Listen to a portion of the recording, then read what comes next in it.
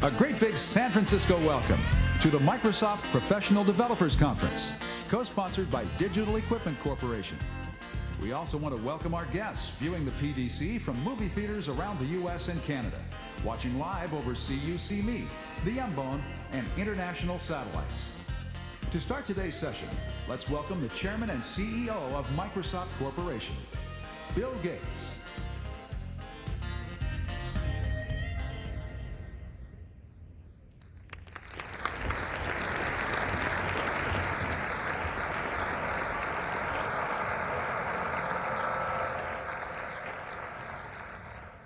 Well, good morning.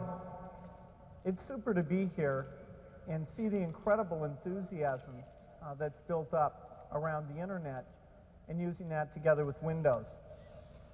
Today we have not only the, the group here in San Francisco, but an even larger group uh, that's watching in theaters, over 50 theaters around the country. And I want to welcome them to the Professional Developers Conference. Now these conferences have really been major milestones in the history of the software business. Uh, going all the way back to the original battle of, of character mode interface versus graphical interface, uh, we used the developers conference to bring people in to the graphical world. And that ended up completely reordering the fortunes of software companies, creating many, many new opportunities. The next big milestone was Windows NT. Uh, that's one that this year has been very gratifying uh, for because the investments that we and you have made over many years are really paying off now with the incredible volume of NT, not only on the desktop, but also on the server as well. Uh, the last PDC was Windows 95, uh, and that's been a, the fastest selling software product of all time, uh, with well over 20 million users now and the broad acceptance uh, has been pretty amazing. Uh, it's hard to buy a new machine now without Windows 95. It's over 90% of all new machines, and our upgrade rates uh, have been more than double any previous product that we've had. But today's topic, I think, is even more exciting uh, than any of those, because today what we're talking about is something that, that's not just about the software industry, it's about the whole way the world communicates. Communicates for business, uh, communicates for learning, or even communicates to socialize and entertain each other. Well, the internet phenomena is truly incredible. The, what happens when you get to critical mass and you get the kind of positive feedback that we've seen only a few other times in this business uh, is, is hard to exaggerate what the, the impact of that is. Uh, with the PC, it was interesting to see that over 50 types of PCs were on sale when the IBM PC came out. And yet, even as that volume grew, the idea of a standard coalesced things around the PC as a seed corn. Uh, the IBM PC was in no ways perfect. And in fact, as the volume of the market went up, those imperfections were viewed as opportunities by companies like Compaq and dozens of others.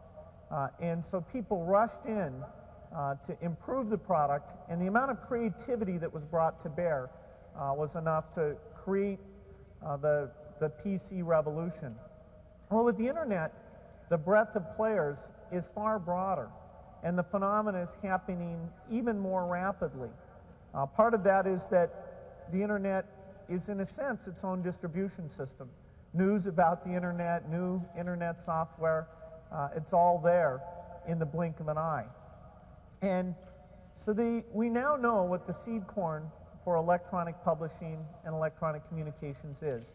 Uh, it's all these wonderful protocols, many of which have been around uh, for over 20 years, are what we're going to use as the foundation uh, for this new world.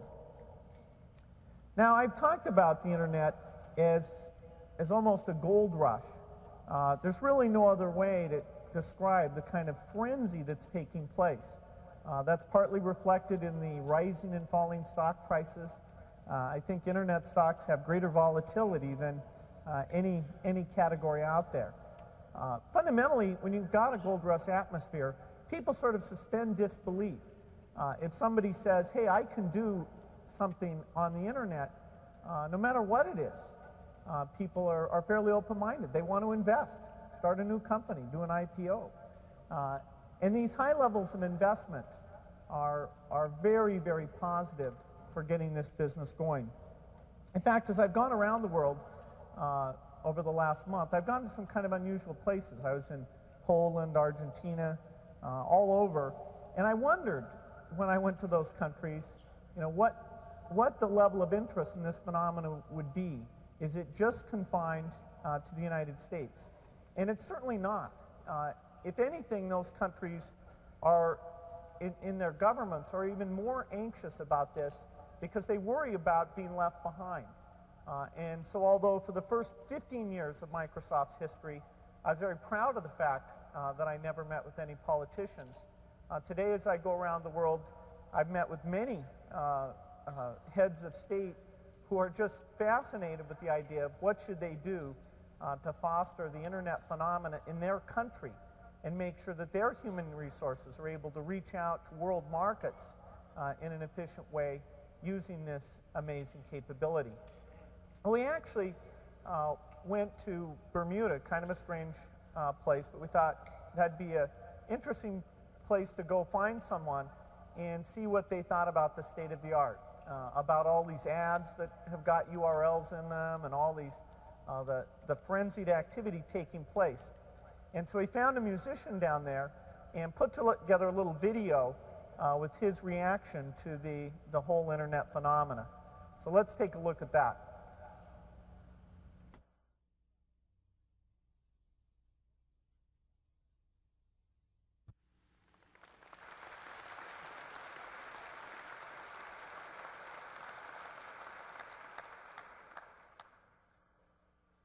It's happening. And really nothing's going to hold it back. But it is interesting to look at the factors that prevent it uh, from happening overnight. Uh, one of those is the whole question about the business model for content companies. Will advertisers be willing to pay lots? Will people be willing uh, to sign up on subscriptions? And there's a lot of great experimentation going on in this, uh, but I think some people will hold back until they see some uh, great success stories. As I mentioned, we're all uh, having to think about the government uh, now that we're in the communications era, and uh, there are a number of issues here. Uh, just in the United States, you've got the issue of, of strong encryption and uh, what the government's trying to do to hold us back there. You've got the issue of censorship, which is a hot one right now. you even have an, a number of upcoming issues like an attempt to take the internet and put it under the same regime uh, that long distance operators are under, uh, which would be a, a major step backwards. But when you think of these problems in the United States, and just imagine that the U.S. is the best case in terms of paying attention to this and having broadly uh, a, a deregulatory approach to things. And because the web is global, uh, it's going to be a, a, very tricky problem to make sure that government interference doesn't slow things down. There are people who think, well, the answer is simple. There, there should be no restrictions of any kind uh, to what people do on the internet. And I wish it was that, that simple. Uh, but I imagine, just to, to take one scenario, that if you're a developer whose software product is saying being downloaded uh, from a server that's in a country with no copyright laws, and you're no longer getting much income, uh, you might wonder uh, if a wide open approach is exactly uh, the right way for it to be managed. And when you get to scenarios like that, it's very tricky to think, you know, who's responsible since you, you can't get back to the server level? How then is there a mechanism that makes sure that intellectual property or whatever uh, other rules apply uh, that those can be done effectively. And so we're all going to put a lot of time into this, whether it's in, in Washington, D.C., or many other places around the world. One of the great issues that's coming up is that because the internet is so fantastic, uh, it should be broadly available.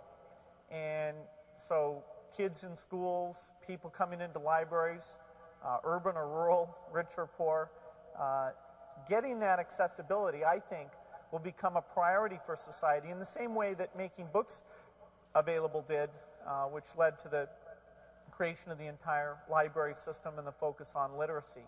Uh, now, that may take some time, particularly as you go around the world, uh, but that's another thing that I think all of us uh, can foster and, and be involved with.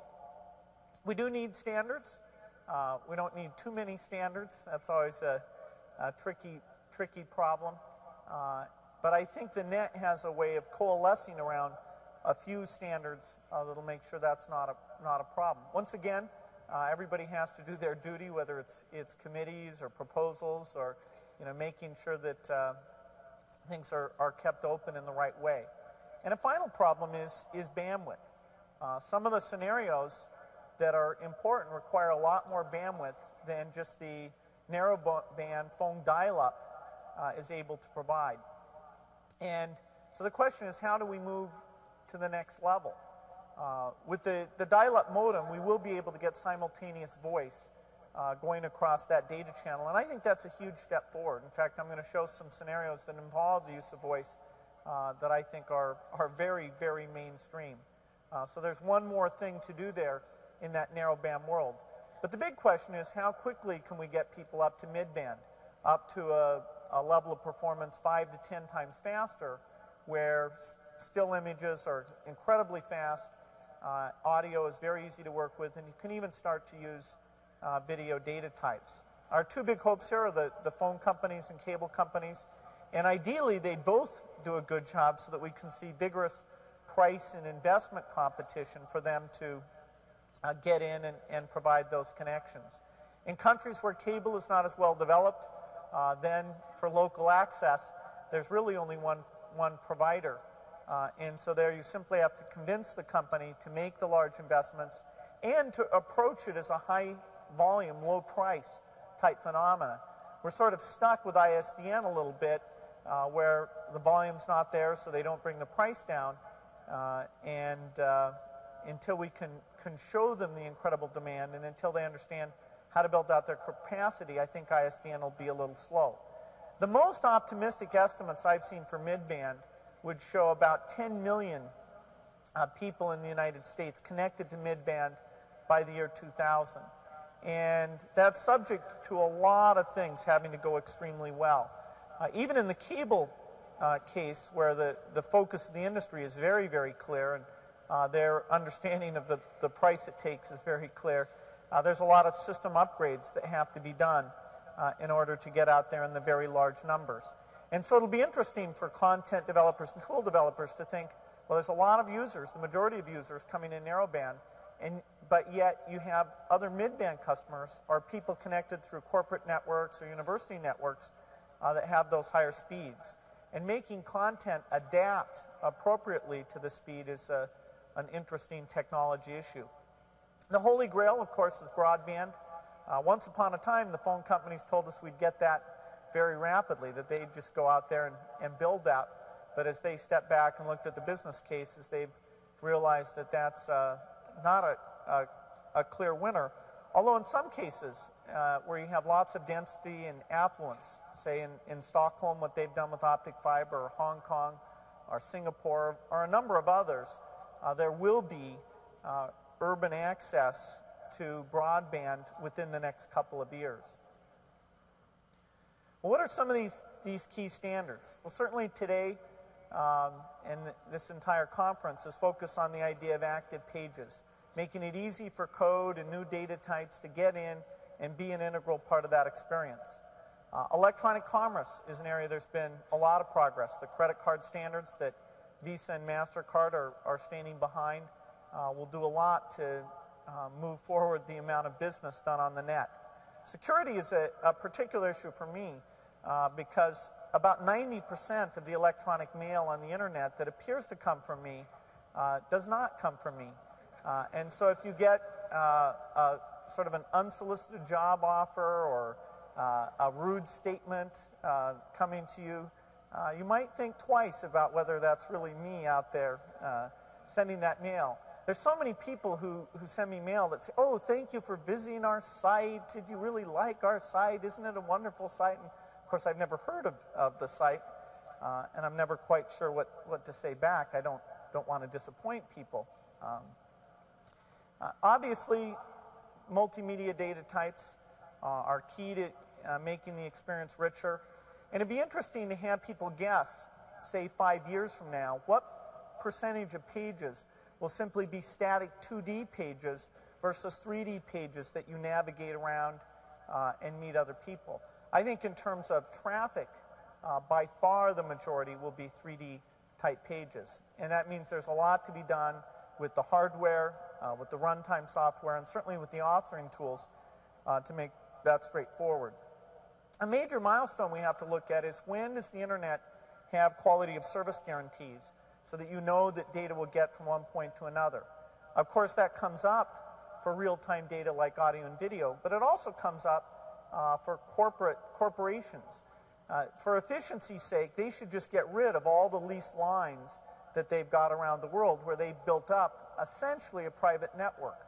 But before they're willing to do that, they have to have some assurance that there won't be traffic jams uh, and there won't be security problems that prevent their data from getting through. And the amount of business, the amount of income that can come to the internet as corporations really say, well, this is it.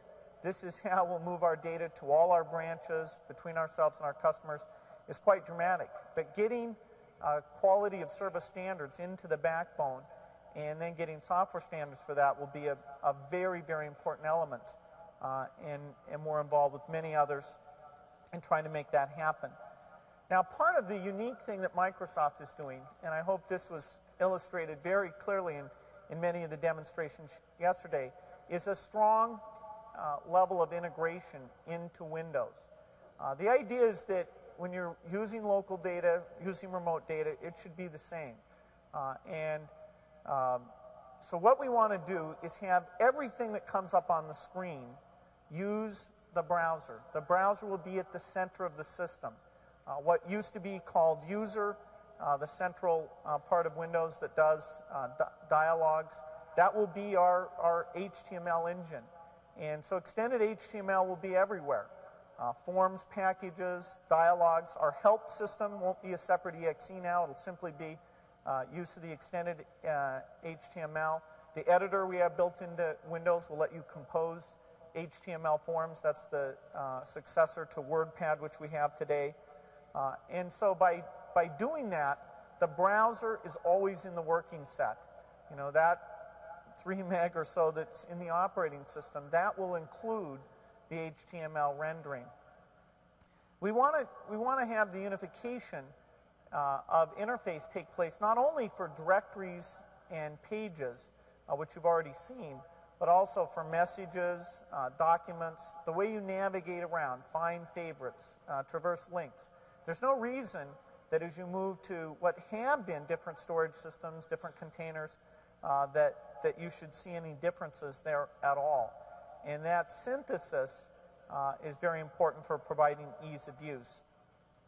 Another key point here is that this quality of service thing I talked about actually has to appear in the operating system as well. The idea of a task being able to say, I want to set aside enough bandwidth, enough CPU cycles to be able to deliver this movie or this audio, and making sure that um, that guarantee uh, can be sent back so that nothing comes in and interferes, that's very important. And that's fairly deep uh, scheduling technology uh, that will be built into Windows. At the server level, integration is equally important.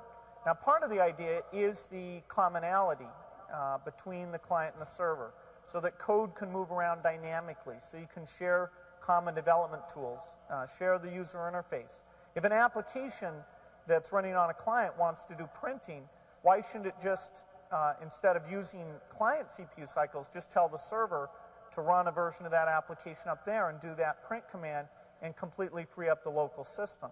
Uh, well, if it's the same operating system, there's no development involved. It's just a matter of redistributing the task uh, for what's appropriate in a particular case. Uh, so we think this, this approach of common security, common object model, uh, and in particular the distributed COM that we're giving out here at this conference, we think that's a, a very powerful story. Uh, to administrators who are looking at, at the complexity of managing usernames and all the different events that can come out of these systems, pulling that all together and letting them filter that in one rich way, uh, we think is a, an important step for these networks to grow as much as, as they need to without creating huge overhead. If you imagine today a, a medium sized business wants to, to set up a server, they have to think about so many things. They have to think about what's a relational database, what's a messaging package, what's a web server, what's a, an admin tool. And all of those they have to buy separately, learn separately, install separately, uh, and understanding uh, what their various roles are and, and, and how to work with those. It's way, way too complicated. We have to have a server that's turnkey, that you buy it for your business, and messaging, uh, customer database management, telephony integration, um, uh, being able to publish catalogs, all of that, uh, including the electronic commerce support, is simply built in. And you don't uh, go out and, and learn what's inside all of those things. And so the software industry, and, and certainly Microsoft in particular, has a lot of integration work to do with these pieces in order to make it turnkey for every business in the world to just go out and buy a box and boom, uh, put up their products, start entering their customers, and, and be in business on the web. So the breadth of opportunities uh, here on, on the internet is, is pretty incredible. And I thought I would do a few demos today to show uh, some of the incredible progress that's being made here. Uh, we're going to start out with a, a, product that actually wasn't written with the internet in mind. It's uh, MechWarrior uh, in the entertainment side.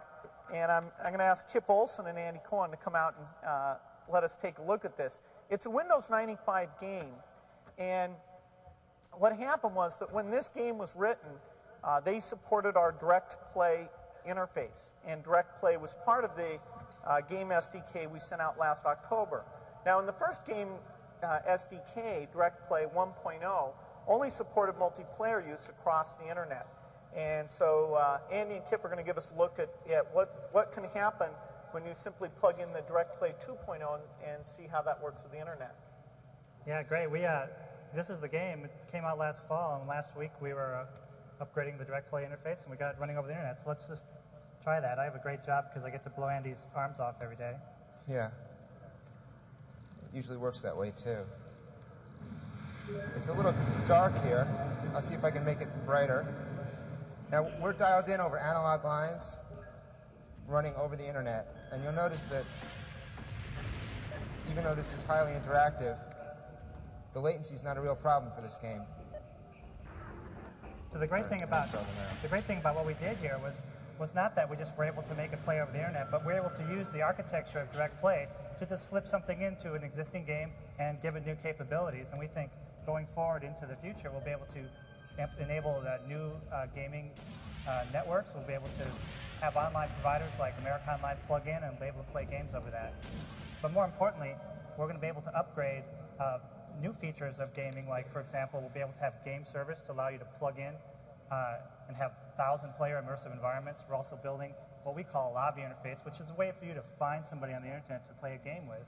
And that might be as simple as a chat field, but it's also going to end up being uh, 3D environments that allow you to walk through spaces, find people, and talk to them. And you, and you might see something like that later on today. Okay.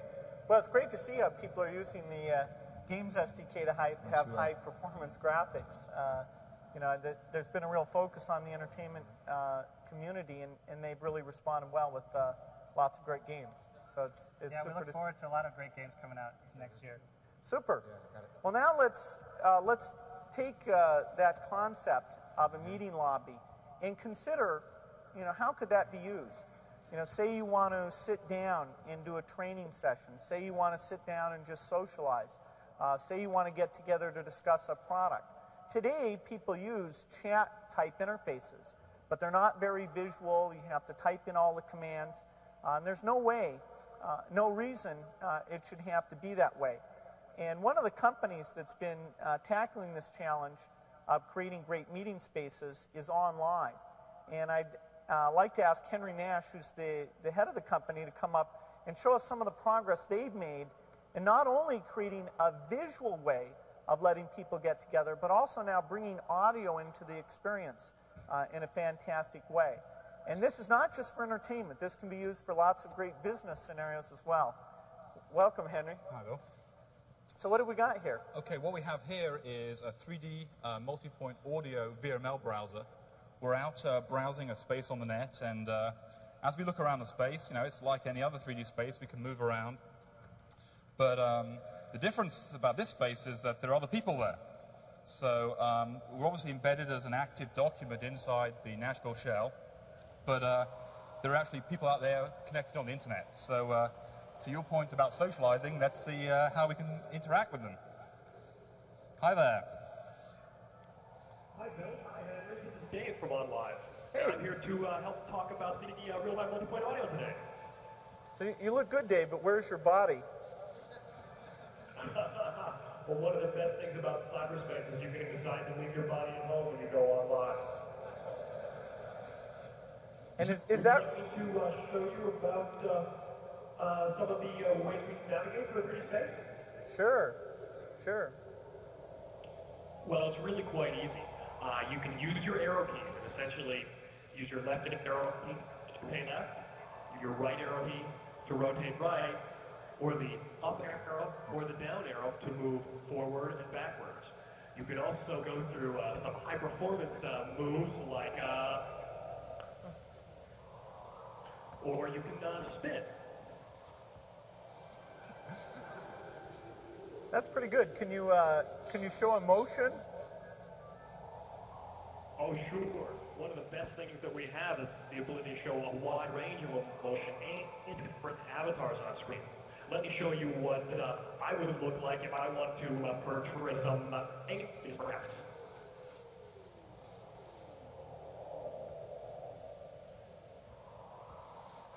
So this is surprising. Ah, pretty nice. Ah, You know, I really like your avatar, Bill. Um, why don't, uh, Henry, why don't you uh, take us into the uh, customize your appearance and show how the uh, range of avatar customization that you can have. that, that's pretty embarrassing. I don't know who made that one. Well, maybe we can improve this a little by uh, hairstyle, maybe. I don't know. Um, I think that's better, and uh, maybe uh, you know, maybe we can uh, you know, this perhaps. No? Looks like like I've got lipstick on there. Uh, you, you can also, as well as changing your appearance, you can also morph your voice to be higher or lower like a robot. You can set up a profile for information you carry with you on the net. So let's go back into the space. So now, can we hear multiple people and talk to them all at once?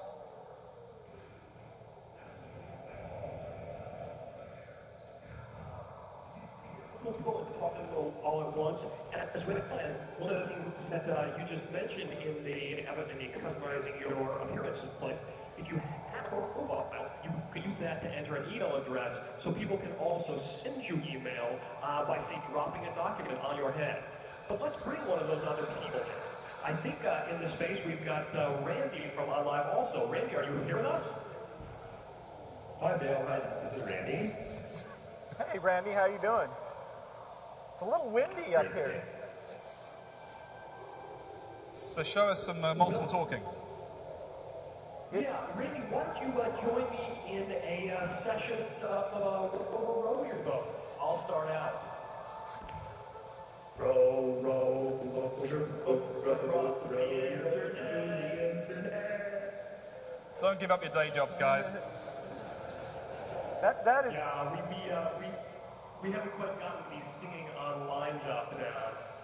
Um, maybe if we added a, uh little bit of, uh, let's see, how about some musical accompaniment? Uh, I think we've got somebody else online here. Are you with us, Mike? Yeah. oh wow, we got a guitar.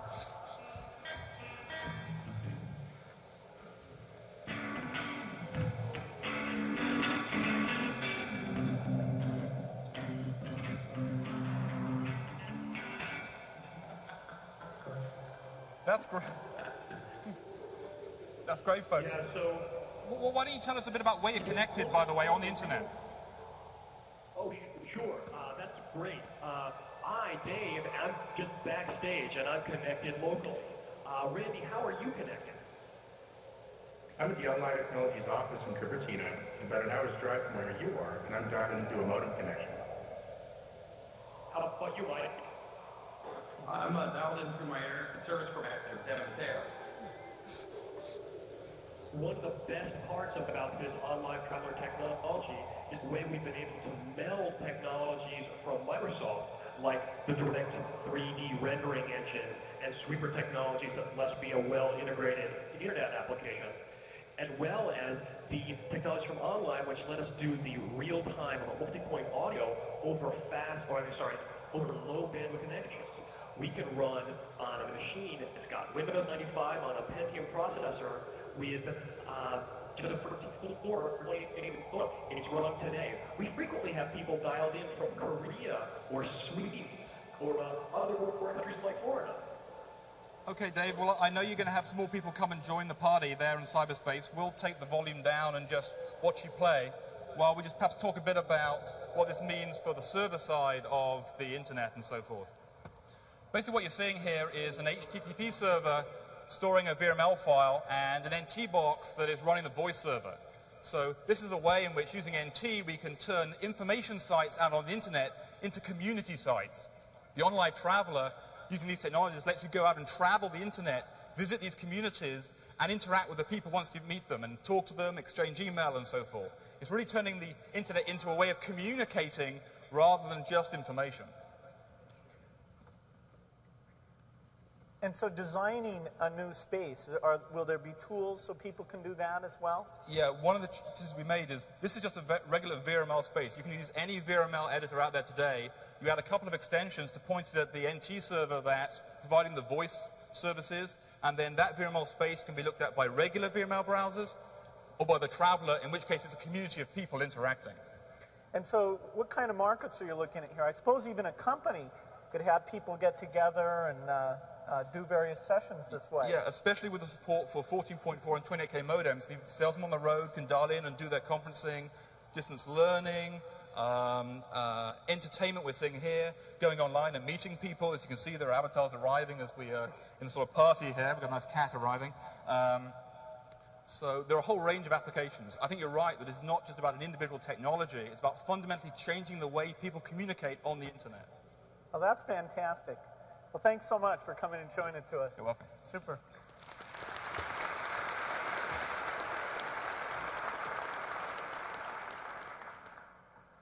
Another big thing that uh, everybody's talking about now is the intranet. And certainly over the next couple of years, that's one of the biggest opportunities uh, for all of us. It's very interesting that companies have made huge investments in PCs and networks uh, to let people run productivity applications. But the investment they've made there is 90% of what they need to do great information sharing. Now, some companies are already there where they have server names that people know, and you go up and you know certain file names. But even in a technology company, that's still a little too hard for people uh, to go out and, and find. Uh, and so it's been very interesting as we've started to take internet technology and use that internally at Microsoft to take the information that we've always had up on our servers, but publish that in a way that's easier to get to. Our usage of that information has gone up by a factor of five. Uh, so I'd like to ask Jeff Kelleran uh, to come out and just show us one example of how we're using these uh, various home pages. We've got home pages for everything now internally for personnel reviews, sales forecasting, and I think here we're going to see an example involving uh, some financial data. Okay, thanks. Well, I'm excited to have the opportunity to do this. Uh, not so much because I'm going to be presenting new technologies that you haven't seen. In fact, a lot of this you've seen in demonstrations yesterday. Uh, but more because I think it's an interesting display of how you can mix a lot of the different technologies, uh, office, back office, and some of the development tools to come up with a really meaningful solution. So I work in our finance group at Microsoft, and one of the big challenges is how do you deliver this vast amount of financial content to a really broad number of users? We have several thousand users that, that access our financial statements, that look at our revenue data, at our expense data. So, how do you deliver that to them in a meaningful, easy to navigate way? So, what I'm going to show you today is a scenario where, if you're an executive at Microsoft, uh, how it might feel. So, here I've got an email and what this is just a, a high level summary of what's gone on. And you'll see I've got an embedded Excel sheet here. So I can get, at a high level anyway, a really quick snapshot of what's going on. Now, if that's not enough for me, I've got a, a, link in here to our finance homepage, so I can really quickly and easily get right to the supporting content. So let's go ahead and go to the, the finance homepage, and that's going to bring up the browser. Now, what's really interesting about this to me is that this is really the first time that we've been able to consolidate and centralize all of this information in one place. Uh, and this is really in its infant stages right now. Uh, as this grows, especially when you think about some of the things that you've seen earlier this week, uh, it's not a real stretch of the imagination to think that this would be the starting point for all of our financial content, not just our financial statements, but also a lot of what I call our dynamic content. So our query tools, uh, even an SAP client, you'll all come to one place uh, to get there as a finance person. So let's go ahead and we'll, i wanted to say something specifically about what revenue looks like in Europe, say. So I'm going to go to our financial statements here. And it's going to give me a couple different lists of reports. I can look at the list here. I'll pick our revenue summary report. And I'm going to go ahead and open that. And you'll notice this will just open an Excel document within the browser. The user doesn't know that that's what that is, but it's going you'll see that right here in the browser. Tells us it's confidential. That's right. So only only top people can look at it. Don't look too closely. okay, so here you'll notice that we actually use Excel pivot tables to present the data. I think it's probably one of the most uh, most undersold features probably of pivot tables, but it really turns out to be a great mechanism for delivering this kind of data for a couple reasons. One is that it's really tightly integrated with ODBC, so you can get data from any ODBC data source. Uh, and second, just the functionality to be able to filter the data and to uh, change the dimensions of it by just dragging and dropping is really a powerful thing. It allows you to sort through huge data sets really quickly. Uh, so I said that I wanted to see something specifically about Europe. So I'm going to go to the drop down there and change it to Europe. And now I've got the information that I want. Pretty quickly and easily, I've gone from a real high level financial statement down to something a lot more detailed. So now with some of the advances in the browser, though, what this allows me to do is I can pretty easily go back to where I started that list of reports by just using the navigation tools. So I click on this. It's going to ask me if I want to save the changes here. I don't want to save the changes. And now I'm back in the browser. Now, the really important thing about that for me is that as a user, my whole experience is the browser. It's not these different applications popping up and me having to track those and where is which document. Uh, my experience is really just navigating and comprehending the different content. So, well, the one thing I like about it is if I see those sales number and I don't like them, they've got the email names of everybody on here, so I can just send an email message and uh, and close that data. So I, I find it a very powerful tool. Yep. well, thanks a lot, Jeff. All it's right, uh, great to see that example.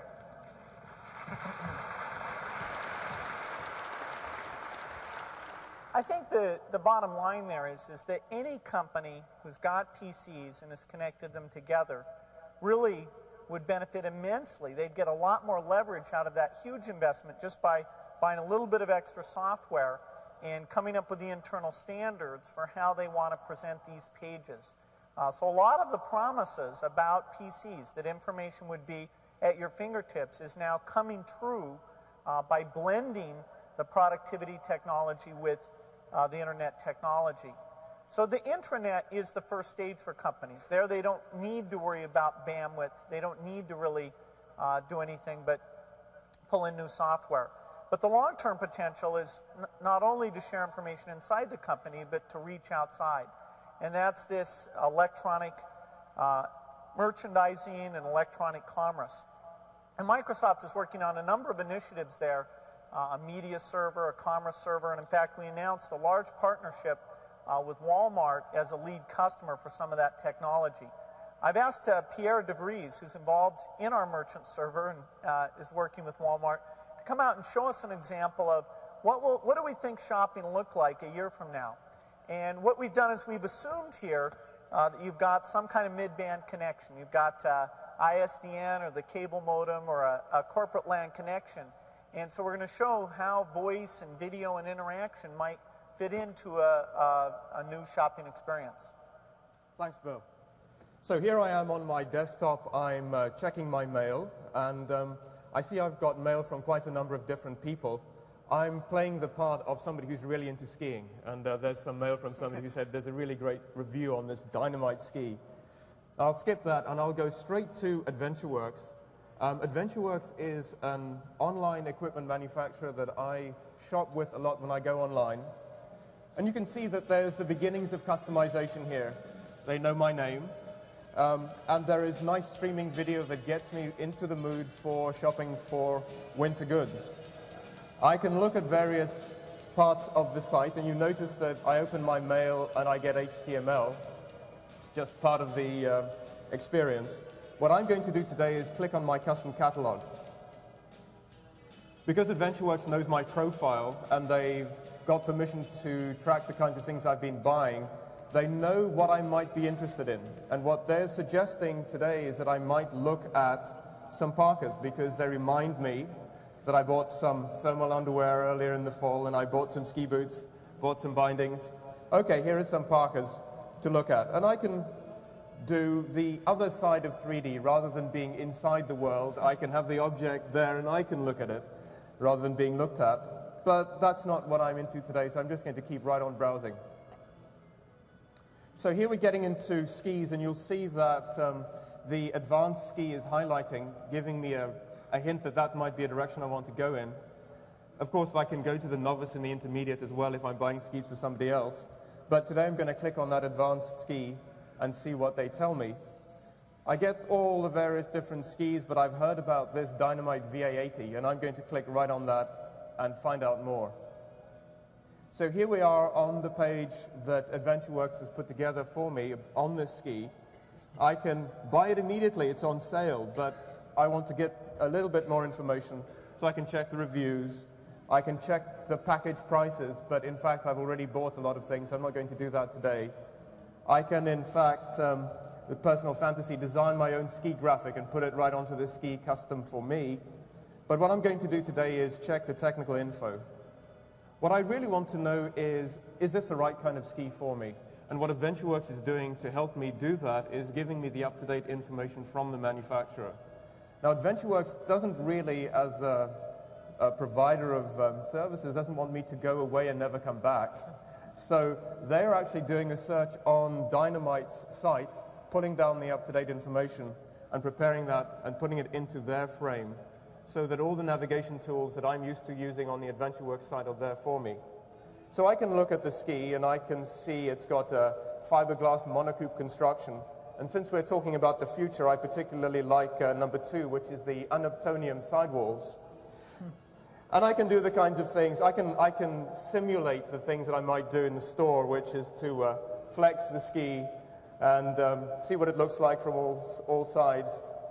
And um, at this point, I've got all the kinds of information that I can get from AdventureWorks. Now, that isn't always going to be enough. You can delve down, but not necessarily every piece of information that everybody wants will be there. So you want to talk to a real person.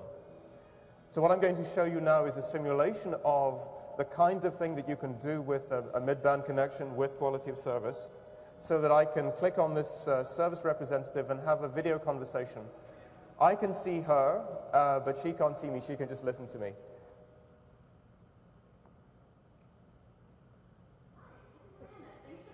AdventureWorks. Oh, hi. I'm looking at these skis, trying to decide if they're right for me. Okay, and you're looking at the Dynamite All-Terrains. Those are great skis. And you've already checked the technical data. Where do you like to ski? Oh, Crystal Mountain, Whistler, the Cascades. The Northwest. Okay, let me pull up my map. All right, they seem to be most popular where the snow is wet, not too icy, such as the Cascades, and most of the folks in BC seem to really enjoy them as well. Okay, that's great. I think I'll go with them. Great. Enjoy your new skis. Is there anything else I can help you with? No, that's all. Thanks very much. Thanks for calling. So, I've got the information I've needed. I've spoken to a real human being to get the assurance that I wanted. Um, and I'm now ready to press this wonderful order button. And of course, like any good merchant, AdventureWorks knows that I'm buying skis and is suggesting that I might want some bindings to go with those. Today I'll um, decline politely since I've already bought some earlier in the fall. And here I have the shopping cart. Now, the shopping experience that AdventureWorks has given me will be different to that of another merchant, but there are some things that I want to have really constant, so that when I'm shopping, these things are the same no matter where I go. So this is a standard shopping cart that Microsoft is designing that I will be able to find anywhere I go. I can see the, uh, the, the item that I'm going to buy, shipping and tax is calculated automatically, and I'm just going to press buy now, enter my password, my visa is already set up. I can change that if I want to at this point, but I'm not going to do that. And I'm going to pay right now. What happens is that the transaction gets set up for me. AdventureWorks merchant server creates a tracking number which is stored on my client so that if I want to go away and search for the, the item a few days from now to find out where it is, I can do that. So I'm done with that. And in fact, here's a little dialog box that says there's good news about my AdventureWorks account. Do I want to know about it? And why not? And I'm told, congratulations, I now have 3,500 purchase points, and this might just entice me to go and do a little bit more shopping. Back to you. That's great. It looks like uh, shopping will be more efficient, so we'll all have more time for programming. Super. Thanks, Thank.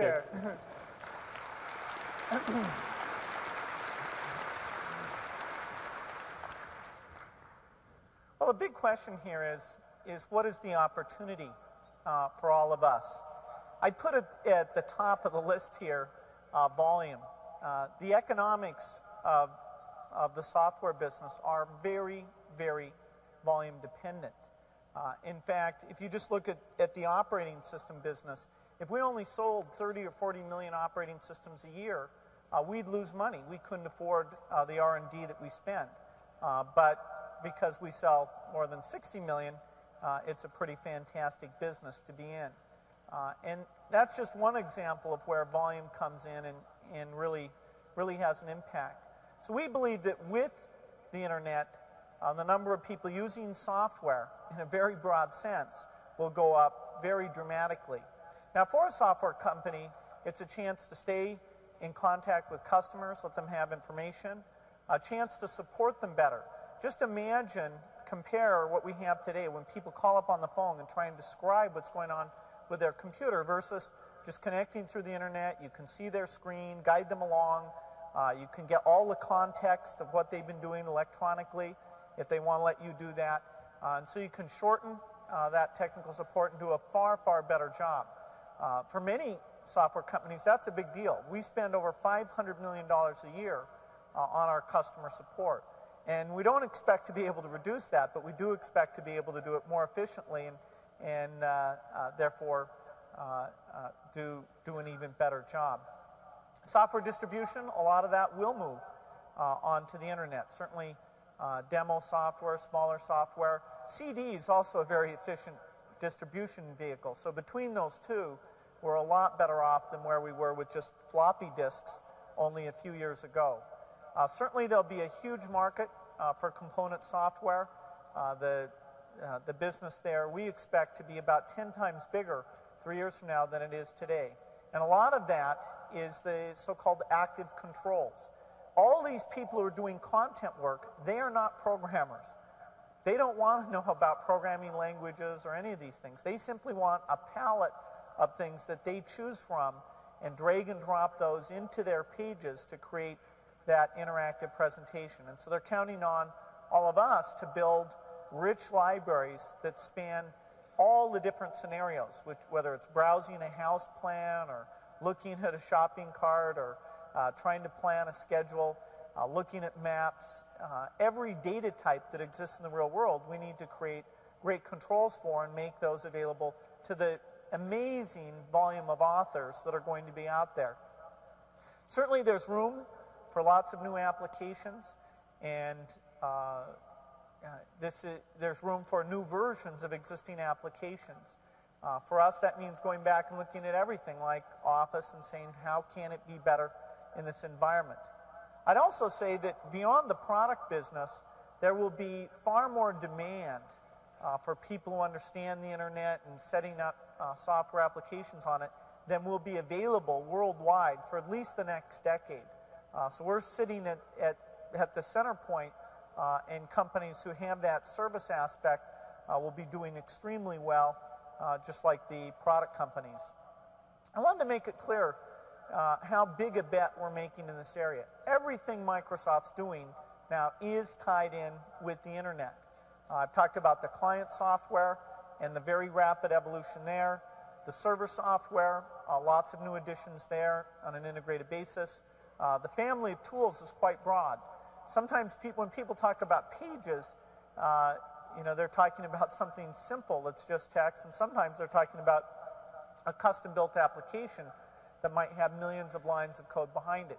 And so the spectrum there really demands quite a range of development tools, all the way from uh, standard productivity tools up to C compilers. Uh, any language that people want to use, we're going to be there to support, uh, and any level of sophistication they want in the tool, uh, certainly we and, and, third parties will have what's required there. Now, we're also doing some things uh, to build internet sites, uh, to bet on this content business. Now, that's very similar to the bet we made uh, with Windows on building spreadsheets and word processors. Now, the content business will always be 100 times more fragmented than, say, productivity software. Uh, but we see a, a, good opportunity, and we think getting out there and, and being a pioneer and using this technology uh, will help us to do better on the other pieces uh, and, uh, in some cases, actually show the way. Uh, so we've got the Microsoft Network. Uh, it's now just a, a, community on the internet. There's two ways to sign up. You can sign up where we include our access uh, and so it, has got the, the phone number and the, the connectivity. Uh, we're at over 850,000 users just in the uh, seven months that we've been up. Uh, and so it's actually faster than we would have expected. A lot of work going on to build uh, broader uh, availability of the connectivity throughout the world and huge investment going into the content. The focus here is, is on HTML uh, and exploitation of these active technologies you've heard about. So we'll, we'll make this be a showcase. Um, MSN, our content club, uh, is part of what we're doing, but we have a very large interactive media div division uh, that's looking at a number of things. Some of these will be purely advertiser supported. Uh, some of them will be transaction supported. Uh, and uh, we think the opportunity to get out there in some cases by ourselves, and in some cases in partnerships, uh, is uh, pretty fantastic. Uh, some of the big partnerships we've done include the work we're doing with the DreamWorks Studio, uh, which is uh, building new interactive titles and taking the work they do in other media and bringing that into this interactive world, both CD-ROM uh, and the internet. our partnership with NBC is a, a very big, big one for us. It involves a 24-hour cable channel a lot like CNN, uh, but with a bit, bit, of a different twist, and connected in with the uh, internet site. So those two will be referring to each other, cross-promoting each other, and all the programming is done for the cable channel and the internet site as one uh, overall strategy. Uh, we will be taking our current CD-ROM titles, like uh, our Encarta Encyclopedia, and making it available through the web. Also, because it's an encyclopedia, it's in a sense, it's like a front end. Any of the articles you see, there'll be links off to all the different sites on the internet where there's up-to-date information about that topic. Uh, and so the, the equivalent of applications uh, here is content, and we'll be one of many, many companies that are uh, doing our best there and showing that we really believe in this uh, by making huge investments, some of which won't pay off uh, for a long, long time. Now, I think it's critical to keep in mind that everything uh, is improving here. You can't think of the PC itself as static. You know, the PC that we were all proud known for five years ago, uh, today I don't think any of us would be very satisfied with. And the pace of innovation, if anything, is faster today uh, than uh, in the past. Whether it's the size of storage, it's going to be hard to buy a PC with less than a gigabyte uh, a year from now, even a $900 PC. Uh, faster processors, I'm, I'm quite impressed with the work that Intel and its competitors are doing, uh, bringing us products like Pentium Pro. Uh, that's a, a, huge step forward uh, for multi-processor system with the very high clock rates that Intel's got there, and, and we're certainly uh, in partnership with Intel, building compilers, building in extensions for MMX, which are their multimedia uh, instructions that I think is a, a great initiative uh, by, by Intel. I believe that a lot of PCs will have smart card readers. Uh, part of the security problem will involve smart cards. Uh, in the United States, we won't hand them out to every person, so it'll have to be the credit card companies. But in some countries, they're just uh, becoming a standard thing uh, that everybody in, in the country will have.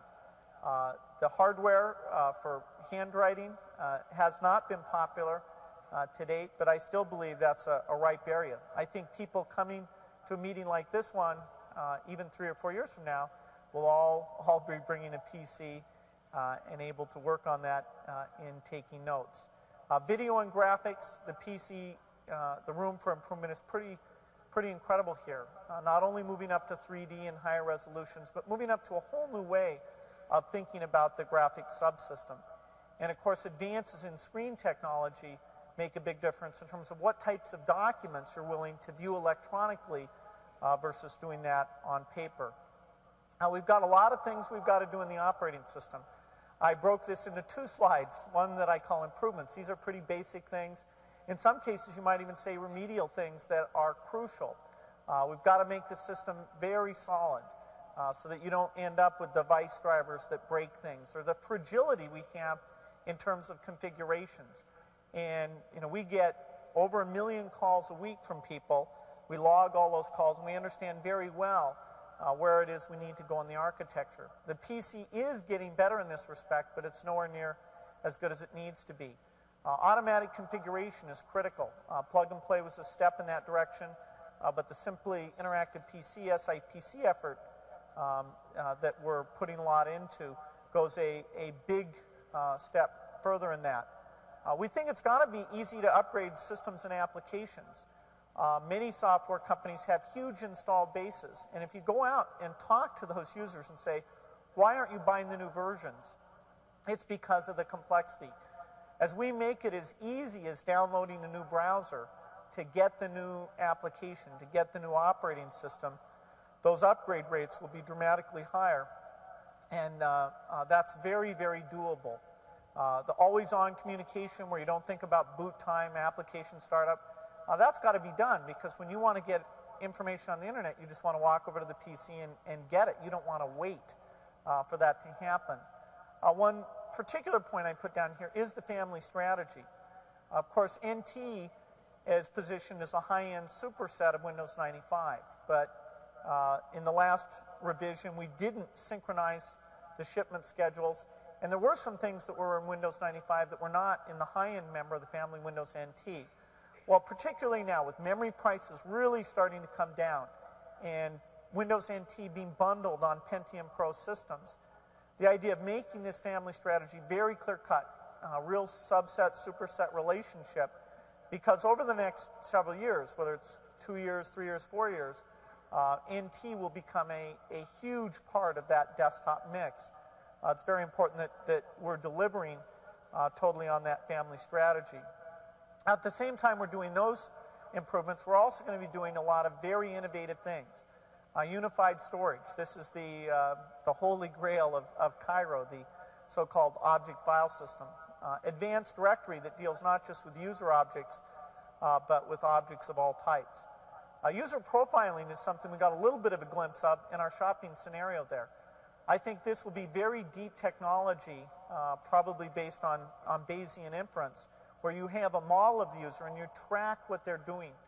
And that allows these agent scenarios where you help the user, where you guide them, show them new things they might be interested in, that allows that to work. It's a fairly um, deep set of technologies that should be shared across all applications, uh, and therefore we're looking at that as a piece of the future operating system. Likewise, speech recognition and natural language parsing. Those aren't things that should be built into, into every application. You know, if you, if you go 10 years out, I would say that a lot of web navigation, a very high percentage, but will be voice driven type navigation. And so we've got to get into these clients uh, system that uh, is very rich in being able to do that with a lot of uh, accuracy. In parallel with this, we will have more variety of devices hooked up. Um, now here, here it's a little unclear uh, what the critical mass will be. And it's important to remember the PC has a large installed base, over 200 million uh, systems in active use, and over 60 million sold every year. And even, you know, with that staying at 60 million, uh, those numbers are pretty overwhelming. And that's where people will be focusing their, their content. In order for another one of these design points to get to critical mass, it's tough because you've got to get authoring attention. The kind of page you want to put up on a TV is a little bit different uh, than what you want to put up on a high resolution screen. Uh, I think the TV flavor will come into this, not as a, a, substitute for the PC, but just another place you can go in and, and browse certain types of content. Likewise, the portable device, uh, the PDA or wallet PC, that's an area where we're making huge investments, and we're actually taking a subset of Windows, a portable uh, subset of Windows, and building it into those devices. Now, there are people who even say that for high resolution screen devices, there may be more variety. I certainly agree with that. Diskless PC uh, will start to be important for people who have high bandwidth connections. It's not going to work when you're connected at 28.8 or even uh, most of these mid-band connections to be doing web browsing because the amount of code you use as you not only run the browser but go to things like Shockwave or Acrobat or uh, Real Audio or the dozens of object types that are out there, you're actually using more code when you browse the internet than the large uh, Windows applications today. Uh, you can't, can't do it very well in a 4 megabyte system, and in some scenarios, even 8 megabytes is fairly difficult. So it's not the case that web browsing is a low-end application. It's a very high-end application. And in fact, all the things we're talking about here and making these pages richer with media and, and controls will simply further that. And so when we think about how will PC configurations change, will P diskless PCs finally take off? Uh, will people choose to buy PCs at lower price points? Uh, this is all, all very relevant. There have been people promoting seven and eight hundred dollar PCs. In fact, you can buy a 486 DX4 uh, machine for about eight hundred dollars. To date, the marketplace hasn't pulled those in. Uh, the PC market is very competitive. I do believe over time there will be more divergence in PC configurations. People who take the innovation and use it to drive the price point instead of just leaving the price point steady and driving the, the power of the machine. When you think about these new configurations, though, it's important to think out what, what you're leaving out. Uh, are you leaving out the screen, or the keyboard, or the mouse? Uh, are you leaving out the processor?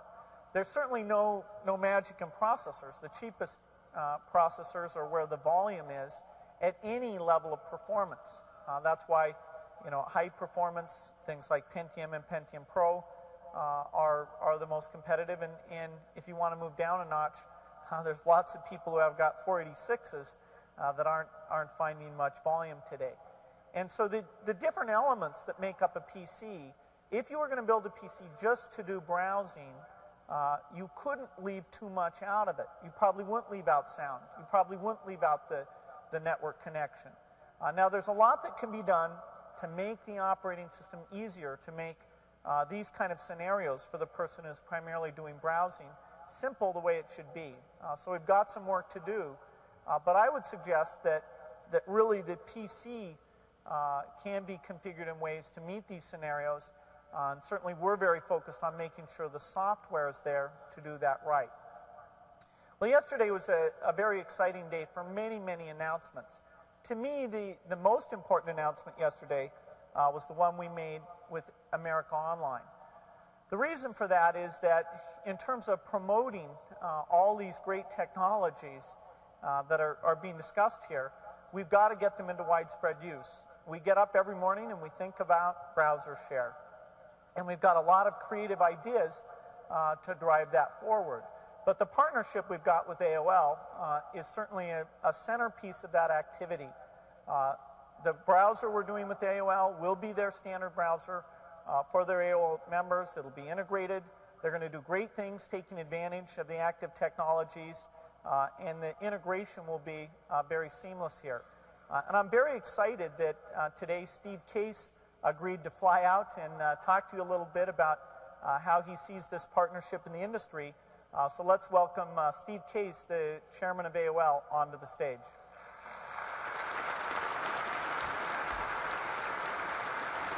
Hey, Steve.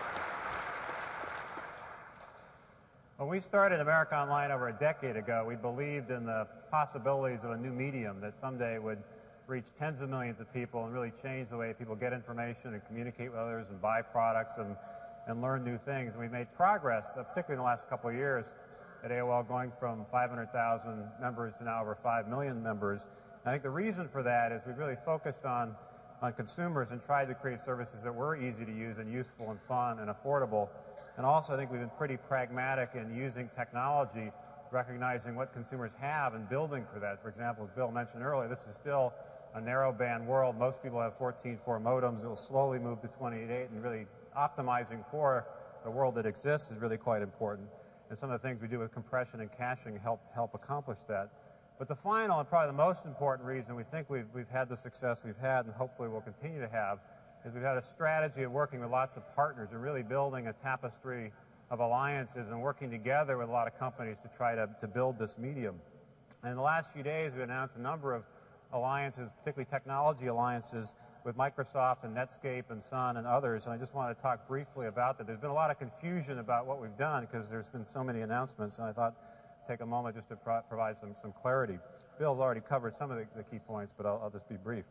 Uh, Internet Explorer the Microsoft technology, the ActiveX platform, will be our standard technology for our AOL brand, which will go out to 5 million customers. When we ship out disk, we'll be shipping it out with the Internet Explorer technology. We'll provide Netscape as an option to AOL customers. And the reverse is true for our new GNN brand, where we'll build Netscape Navigator and as a standard and provide Microsoft as the option. And Java will build into both AOL, so you can click on an AOL form and launch a Java applet, as well as make it an extension of our of our web strategy. The reason we're working with Microsoft is because we're really quite impressed with the technology, and I think as you've seen in the last uh, day or two, you probably are impressed as well, and also impressed by the kind of new pragmatism at Microsoft, trying to figure out ways to move forward and, and work together as, as a united industry to move this industry and move this medium into the mainstream. The reality is only 11% of households subscribe to any online or internet anything, and 89% are sitting on the sidelines kind of saying, why bother? So the opportunity is to partner with companies to figure out a way to reach that mainstream audience. And it's not just about partnering with big companies, Microsoft, AOL getting together. It's also about reaching out to lots of creative minds and entrepreneurs to really figure out how to leverage their innovation. And many of you in the room, I think, are going to play a, a central role in doing that. So I'm pleased today to announce a new program at AOL, an expansion of our greenhouse effort uh, to include software developers. As many of you know, about a year ago we launched a, a, content greenhouse, and over the past year we funded dozens of startups, put millions of dollars to work trying to really fund innovation in this new medium. And a few months ago we expanded that to include a software greenhouse for AOL applications, and today we're expanding that to support internet developers. If you're creating innovative internet applications, we want to talk to you to provide capital and we also want to commit our distribution and marketing cloud to take their ideas to 5 million people. And we think it's really going to be the mix of funding and distribution that's going to unlock the power of this, this new medium. Just creating a website or creating an application and sticking it out on the internet and hoping people will somehow serendipitously find it will probably not be as successful in the long run as figuring out a way to get plugged into large audiences such as uh, what we've got with uh, AOL. The goal remains the same to try to create a new medium to reach tens of millions of people and really take this concept of online services and all the potential of these online services to mainstream, to a mainstream audience. And we're looking forward to working with technology partners such as Microsoft and hopefully many of you to make this new medium all it can be. Thank you. Well, thanks a lot, Steve. Thank you.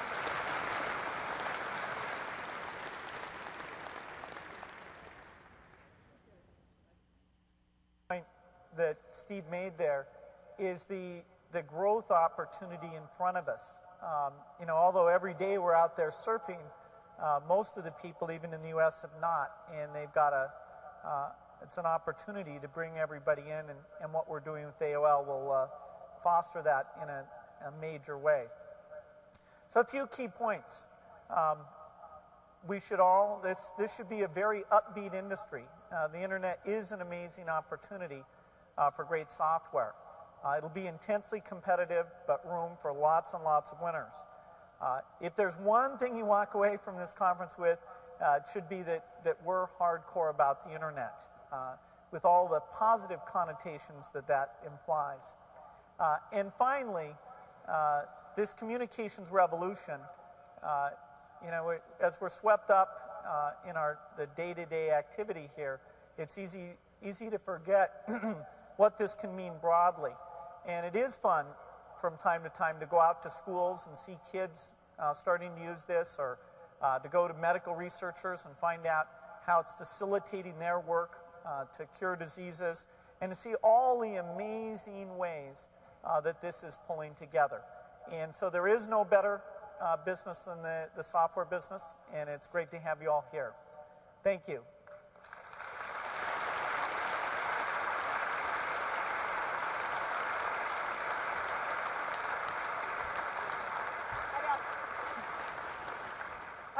Um, we took several hundreds and hundreds of questions and we filtered through them last night and we tried to come up with questions of different categories that were most popular.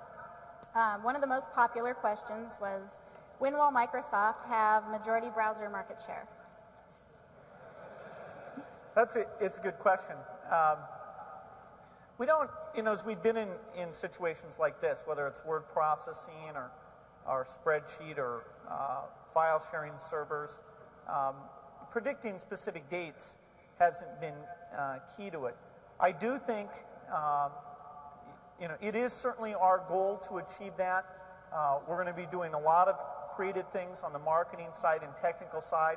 Uh, anybody here who has technology that can make a browser better, uh, let us know. We're, we're in the market for anything that uh, people have there because we see the evolution being very rapid.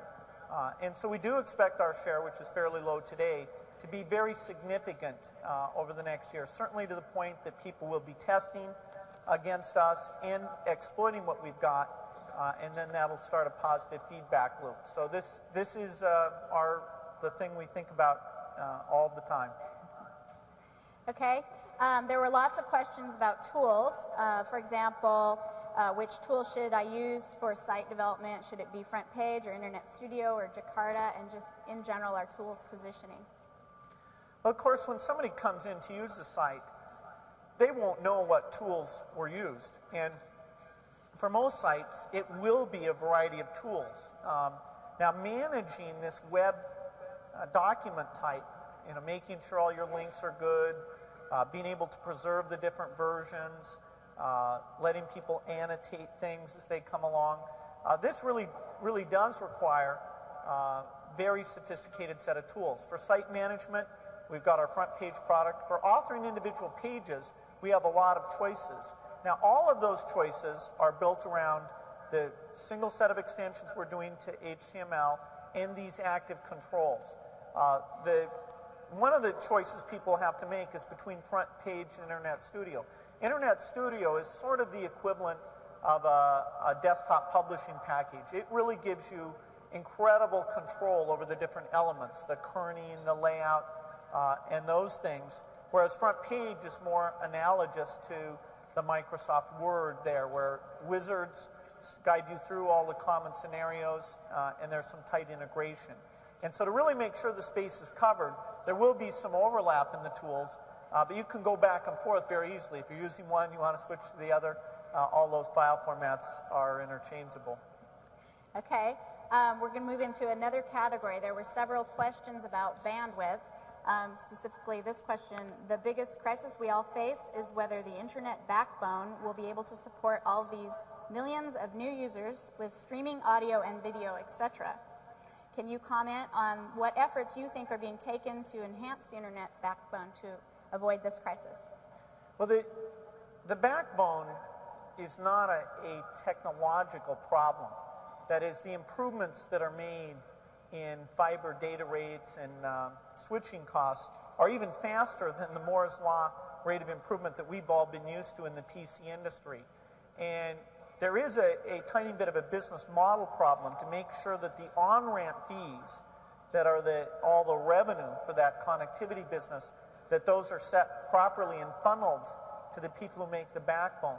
it is, for economists, it's very interesting that you've got a, a pricing model here that's not based on usage. It's just based on the on-ramp. And of course, that's very different than the voice telephony network, where usage, both time and distance, drive pricing, and therefore there's a more direct feedback loop to uh, what, where investment should be made to build capacity.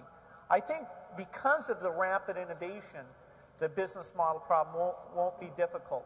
Uh, and the backbone is the easiest part because there's where you get the, the big economies of scale. The hard part in this business is local access. It's that last mile, particularly uh, when you're talking about connecting up to homes. And there we have to hope uh, that um, either breakthroughs in wireless or, or satellite technology or uh, intense competition between the two local access providers, the phone and cable companies, will get the prices for that down and, and make that very effective. If there's any place there's a question, which is uh, will play out a little differently from country to country, it's more in the local than in the backbone. Okay, um, the next category of questions is really uh, about window, our Windows platform and release schedule. We did take one question from uh, the M-Bone. We're live, live broadcasting over the M-Bone, and one of the viewers asked, when is Windows NT 4.0 shipping? And I can quickly answer that, and that's this summer. Um, that, that's a sa very safe prediction. um, the next question was specifically in the corporate space. Uh, yesterday, during the Nashville demo, we did a demo of the SMTP POP3 based mail client and browsing news groups. Uh, the question is, how will Exchange public folders fit in with this? Well, the, the client, the mail client that we're going to build in to the Internet Explorer and therefore into the operating system uh, won't be as rich as the client that comes with Exchange. Uh, however, it will support bulletin boarding uh, with NNTP, uh, and of course standard SMTP mail. Uh, so the Exchange client will be a strict superset of that. We will have, as a feature of Exchange, the ability to connect through an arbitrary browser and just use standard internet authentication and be, be able to look at public folders. And so you won't even have to have the Exchange client to be able to browse uh, those, those public folders. That's part of what we call Exchange 4.1.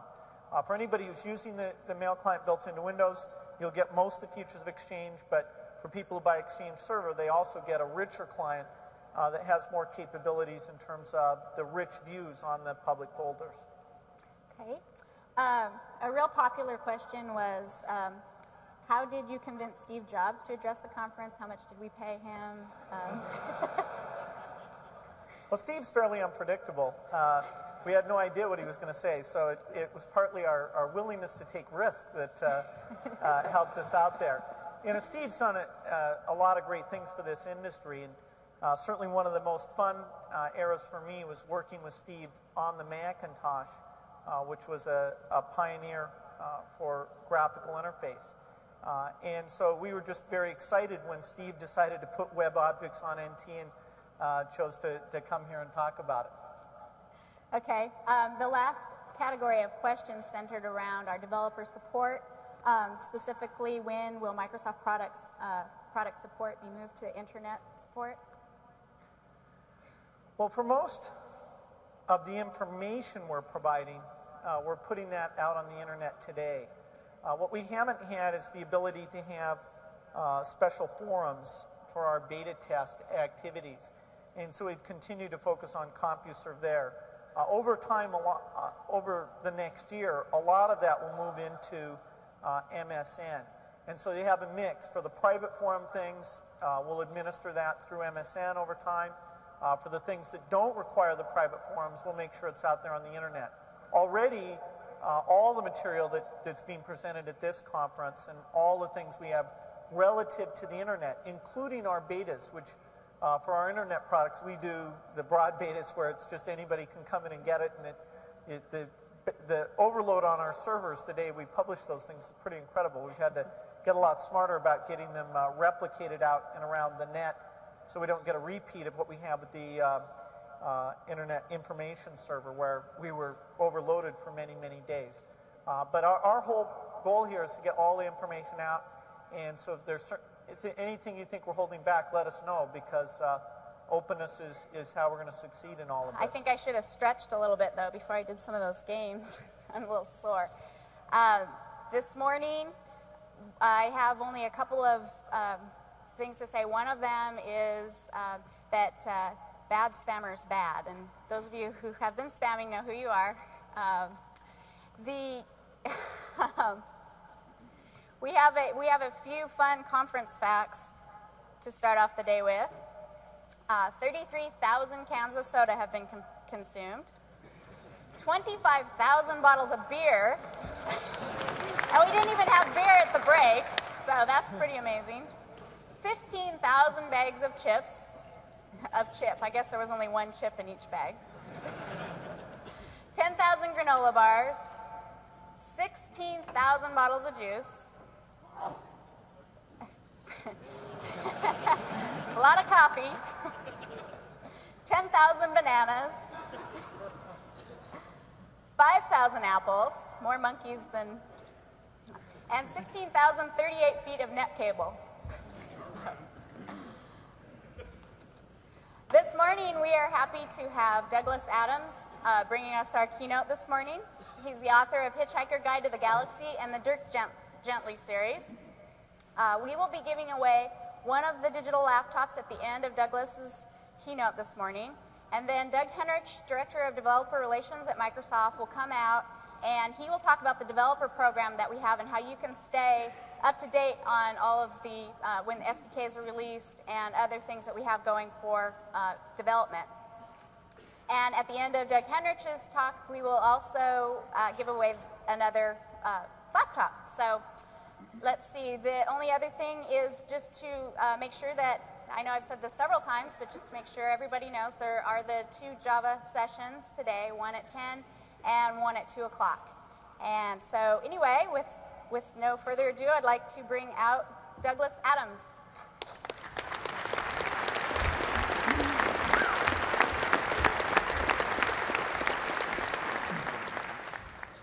Hi, I, I, hope that was the right time to come on. Actually, we couldn't hear the sound very well backstage, so I was just waiting for an awkward pause. Um,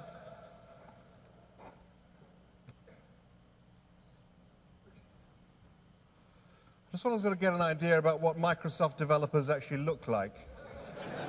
and I also want to have a little bit of a wander around, in fact, because uh, actually you can tell this is a, you can tell this is a Microsoft conference uh, because there's a clock down here which is telling me to the second how many minutes I've got left of speeching, of, of, of talking. And uh, it's going to be a bit of a problem, you see, because I'm kind of one of these uh, unpredictable, sort of um, uh, un un unpredictable, sort of creative, kind of wild Macintosh kind of guys, and so it's going to be. so we're just going to have to see how it goes. I'm going to try and keep to the right time. Uh, one of the problems with my speeches is they tend to be rather digressive, and it's only right at the very, very end that uh, I try and wrap it all up and you get some idea about what it was I was actually talking about. So I may or may not get to the end. Uh, if I don't get to the end, maybe we should have a little sort of contest on the internet. I'll give you my um, email address and uh, you can send me little notes about what you think it was I was talking about and what you thought I was going to say at the end. And there will be a very, very, very, very, very tiny little prize for whoever gets it right. Uh, of course, I might finish early, in which case we shall have to have some questions. First of all, I need to pace around a little bit. I've got a bit of jet lag, and uh, it's one of those days when you sort of wake up at, uh, wake up at one o'clock in the morning. Um, but I also like to tend, I, I, tend to like to wander around a great deal when I'm talking anyway. There's a, there's a friend of mine who was at um, Trinity, Trinity College Dublin a few years ago, and he was studying psychology. And they, uh, he was going to a regular series of uh, lectures given by a guy who was lecturing on Pavlov and the conditioned response. And this guy, this guy was a great pacer. He walked up and down, up and down in front of the class, left and right, left and right. And after a while, all the members of the class conspired together. So that every time he got to the left hand end of his perambulation, they all looked bright and alert and intelligent and asked bright, intelligent questions. And every time he got to the right hand end of his walk, they all fell asleep. So by the end of the course, they'd got him permanently holed up on the left hand end. They'd put him on a kind of virtual slope. I don't know, uh, history doesn't relate um, what happened to all those students, but I feel they should have just got a first in that paper. when virtual worlds and real worlds collide, you can have some alarming things happening. Um, I was told a story the other day about some fighter planes that apparently were designed entirely, I think it was the F 16, but I could be wrong, I'm not an expert in fighter planes. It was designed entirely in the computer, tested in the computer, flight tested, everything was done in the computer to begin with. And eventually they were built, and the machine worked perfectly. It was a wonderful, wonderful aircraft. And then one day, a flight of four of them were out in the Pacific going through some maneuvers, and they were all flying in line, and suddenly the one right in front, for no reason at all, flipped over. And the one, the one a couple of minutes behind him, or just a few seconds behind him, thought, what's going on? What's, what's, what's, what's happened to this guy? And, and uh, a moment later, he flipped over.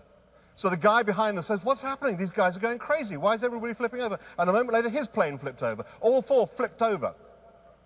And it turned out they'd just done, in the real world, something that they'd never done in the virtual world in this plane, which was fly over the equator.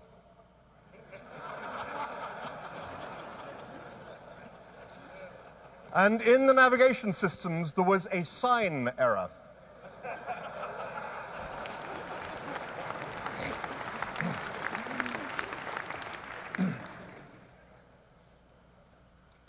One of the things that the virtual world and the real world has in common is that there is an awful lot of data out there. There is an enormous amount of data out there. How do we make sense of it? Well, largely by ignoring most of it and making a model for ourselves out of the rest. We do ignore an awful lot of it. We have to because, uh, because there's so much. There's a, story I was told the other day about a, um, a dolphin uh, research establishment, and they just got a new dolphin that was just joining the establishment, so they were running a few tests to see if they'd got a good dolphin, a bright, intelligent dolphin. They tried a few little simple, little learning tests. They, um, they encouraged it to jump out of the water, make a noise, and if it made the noise, it got a fish. Very, very simple, very straightforward. The dolphin got it straight away. But they carried on the test just to sort of see if, uh, if it could keep on doing it. And suddenly the dolphin began to seem to sort of drift from its purpose, drift from what it was being told to do. And um, every time it jumped out, it didn't necessarily make the noise that it had been asked to make. And it would make a different kind of noise, or make a quieter noise, or a louder noise, or a deeper noise. And then it was, um, um, and so they're getting a little bit crazy because sometimes it wouldn't even make a noise at all. So it would jump out of the water, not make a noise, and not get a fish. So thinking this is a stupid dolphin. What is going on? We thought this, you know, we thought it was meant to be an intelligent creature. So anyway, they abandoned the experiment. A little bit, little bit later in that evening, one of them was playing a tape they'd made and playing it through an oscilloscope and suddenly noticed what was happening, which was that, uh, in fact, the dolphin was making a noise every single time it jumped out of the, the, uh, the, the pool. Um, but sometimes it lay above or below our hearing range. And um, the notes were going up and they were going down, they were getting louder and they're getting quieter. And he suddenly realized what was happening. We, th we thought that we were training the dolphin to jump out of the water, make a noise, and get a fish. But what the dolphin was doing was calibrating our hearing range.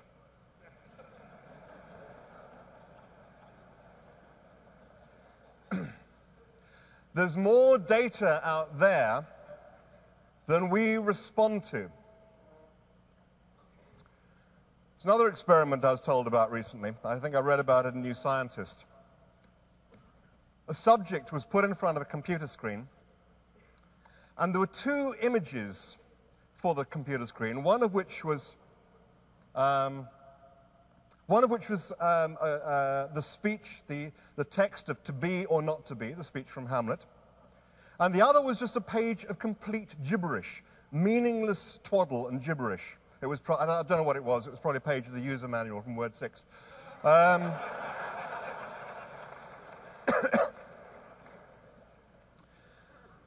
But both images were stored in the memory for the screen, and what was shown there most of the time was the page of complete gibberish.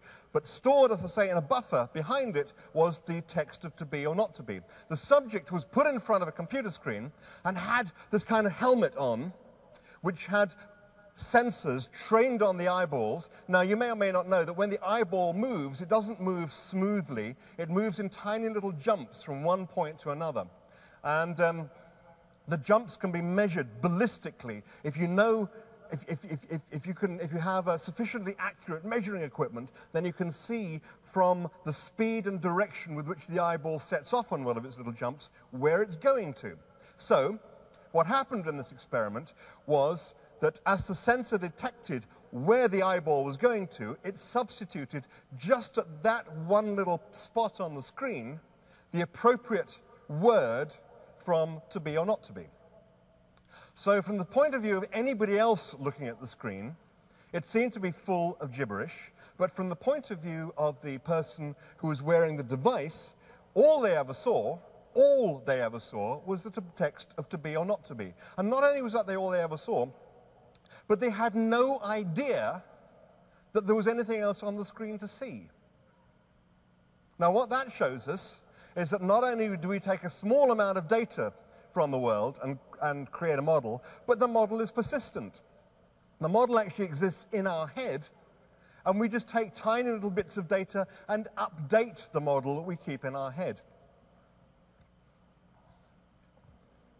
As you probably know, we have um, a rather odd feature to our eye. Well, I guess it's not a feature, it's a bug, which is that the optic nerve comes in right at the back of the eyeball and where it comes in, there are no light sensitive rods.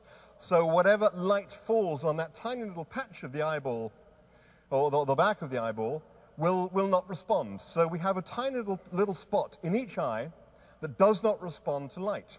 Now, if you close one eye or the other, you are not aware of seeing a black spot anywhere. But if you train yourself, you can actually find it. There, are little tricks you can do um, whereby you sort of move your eye along a line and you've got a little, you've got a little thing, a, a P or something, just at the point where, uh, um, uh, that, that, that, that, you're, and you're trying to maneuver your blind spot over the P, and the P suddenly just winks out of existence. You don't see a black hole, you just no longer see the P anymore. Uh, the reason we don't see a black hole is why would our brain tell us there's a black hole there? We just have a model in our mind. Charles II actually used to have an interesting little trick with this. Um, and it was, if you were a member of Charles II's court, you always knew you were in trouble if you found that he was looking at you like this. Because it meant he was trying to see what you looked like without your head on.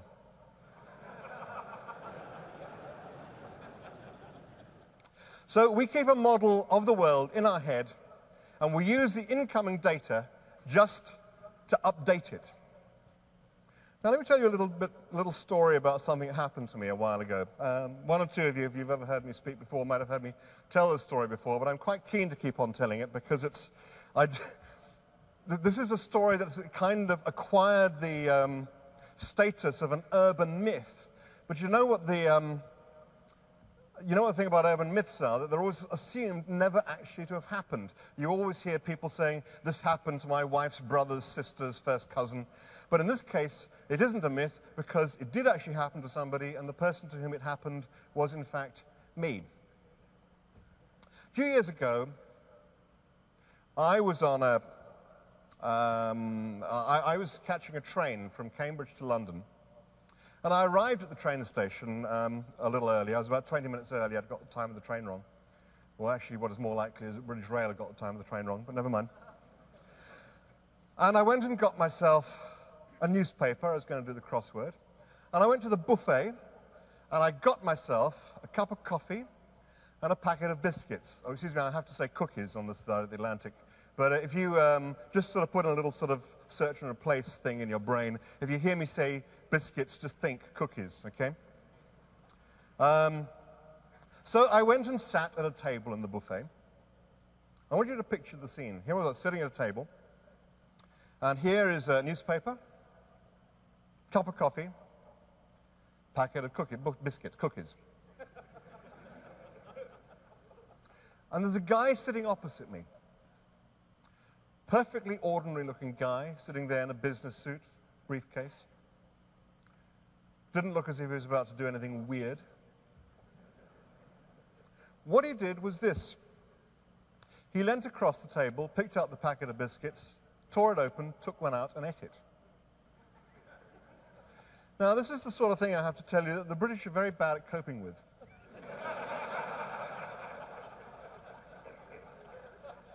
there is nothing in our entire culture or upbringing that trains you to deal with someone who steals one of your biscuits. Now, you know what would happen if this was uh, New York. Somebody would end up dead pretty quickly. But, but in the end, uh, I, I just, I did what any red-blooded Englishman would do under the circumstances, uh, and I ignored it. And stared at the newspaper, tried to do one of the clues in the crossword, couldn't. Took a sip of coffee, took a deep breath, and thought, well, I'd better just go for one of my biscuits. And I, and I leaned across and I took one, trying hard not to notice that it was somehow mysteriously open. and a moment or two passed, and he did it again. He took another biscuit. And having not said anything the first time, it was somehow even more difficult to sort of raise the matter the second time. Uh, excuse me, I couldn't help but notice. I mean, it doesn't work. So again, I ignored it and I, I leant across and I took another one. And our, our eyes met just for a moment. And then we both looked away. But there's a little tension building up over the table at this point.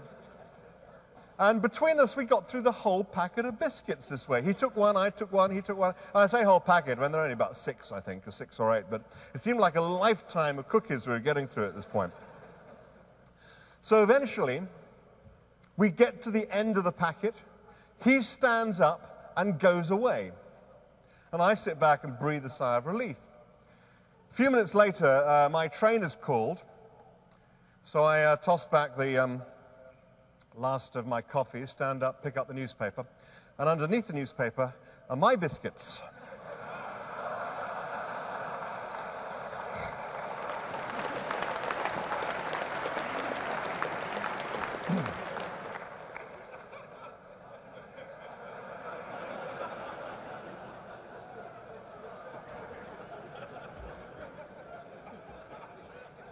Nice thing I get about that story is somewhere in England there is this guy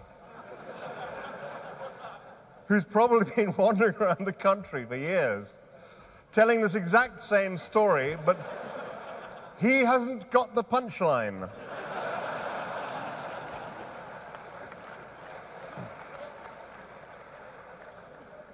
But the point of this story is that sometimes you're using the incoming data to update a model that is intrinsically faulty.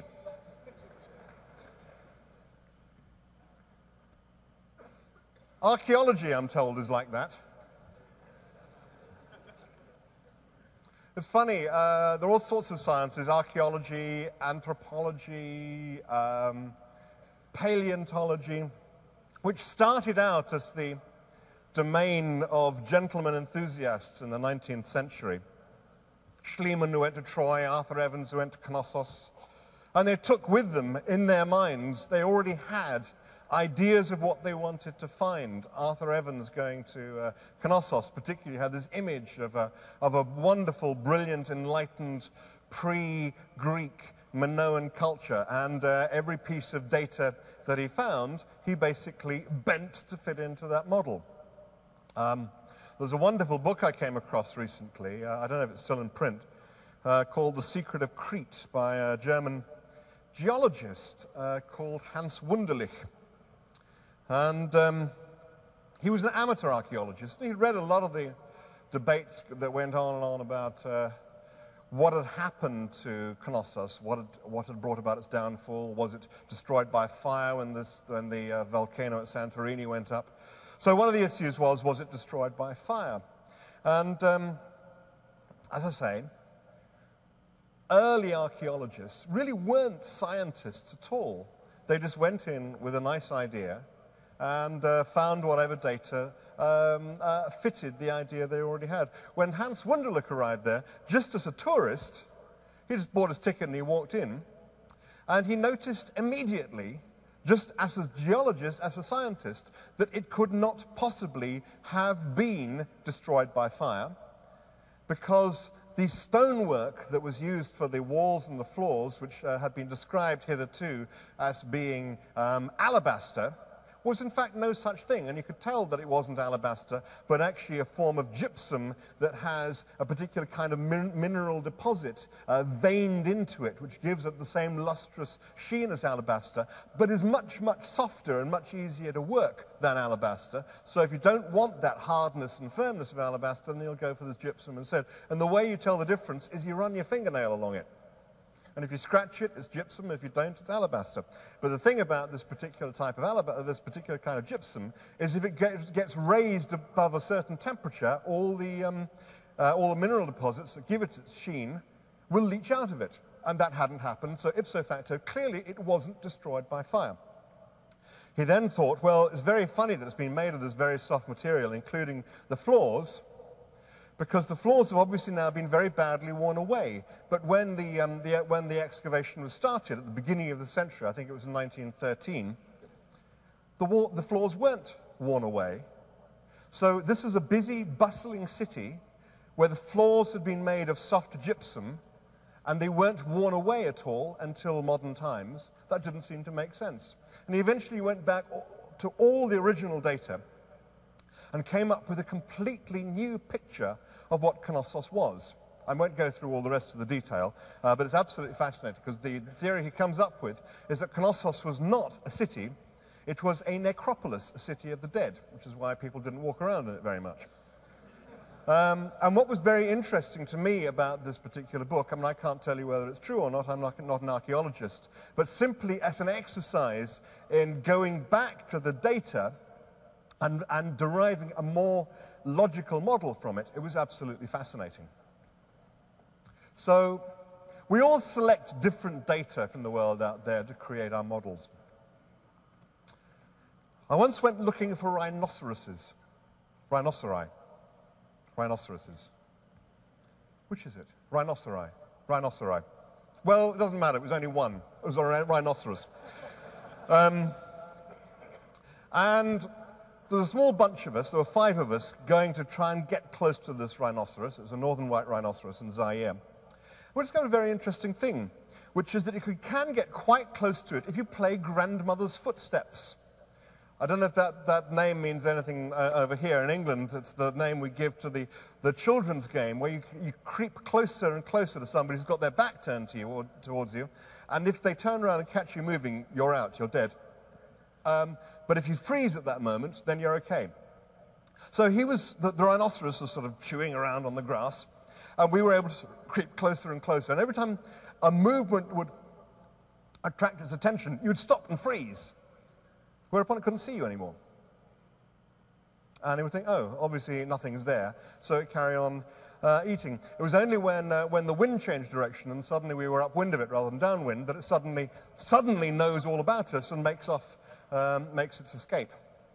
Um, I always thought it was us who meant to make our escape, but there you um, And the point is, as I discovered, that rhinoceroses use sight the way we use smell, and smell the way we use sight. We tend to use smell as a kind of just an indication that something may be wrong.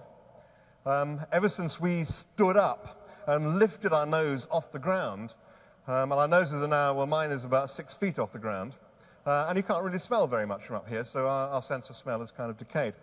Um, so we tend to use it just to tell us something's gone wrong, if there's a gas leak or whatever.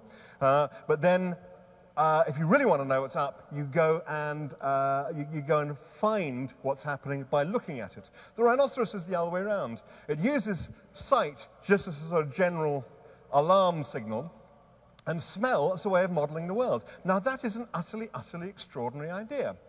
I talked about dolphins earlier. Dolphins um, use sound very often to model their world, and there's a very interesting difference between sound and light. Um, when you consider we use light to model the world, i.e., um, the model, what, we see um, comes to us in the form of light, which is, um, which as we know, travels at 186,000 miles per second, to all intents and purposes instantaneously, which means that the order in which things present themselves to our senses is actually the same order in which they've happened out there. Um, uh, in the case of a dolphin, that's not quite true because sound only travels at 1,100 feet per second. But in the case of a rhinoceros, something really weird is happening because it's, it is able to respond to all kind of fantastic, fantastic level of sensitivity to all the smells around it. And it can detect what smells have been around for the last two minutes, the last last couple of hours, the last day. It can tell if another rhinoceros was here yesterday, how it moved around, what kind of mood the other rhinoceros was in. Was it being attacked by something? Was it, a, was it, um, uh, was it on heat? Was it hungry? Was it frightened? All these kinds of things. It's there in the air around it. So if you think that it has a model in its mind of the world around it, and the incoming data is updating that model, what kind of world is it looking at? It must be looking at a world in which, which you see time as a landscape. Now, that's very, very odd for us to try and consider because the only world we've ever had any experience of is the, is the virtual world in which we human beings live because we're all human beings. And the only people we've ever spoken to about it are other human beings who share the same uh, the same idea. So if, if, if my slightly fanciful idea that maybe rhinoceroses live in a completely different relationship to time than we do, we wouldn't know.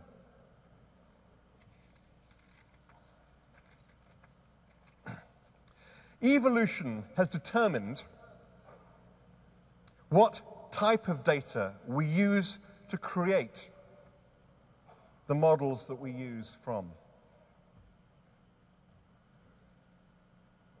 In the case of, um, for instance, dolphin, there's a dolphin uh, I once went to um, try and find, which is the Baiji dolphin, the Yangtze River dolphin, which is an almost blind uh, dolphin. The reason it's almost blind is that there's nothing to see in the Yangtze River. Thousands of years of agriculture along the banks of the Yangtze have washed so much silt into it that, um, that gradually uh, it could see less and less, and so its eyes gradually atrophied while its ability to model the world in sound got more and more sensitive and powerful and strong. Um, and so it was able to, uh, uh, it was all, enabled to make that adaptation. Um, it now faces a problem because uh, uh we've, now uh, we've now invented the diesel engine, which means that the Yangtze River is now full of noise. Um, but um, there are other kinds of animals, like bats, for instance, that, uh, that work on sound because they're nocturnal, so light isn't going to work for them, so they model stuff in sound. So there are all kinds of different ways in which evolution tends to lead one animal or another to model the world in different kinds of ways. Now, I have a rather serious announcement to make. You may want to brace yourself for this. Human evolution is at an end. It is finished. It's official.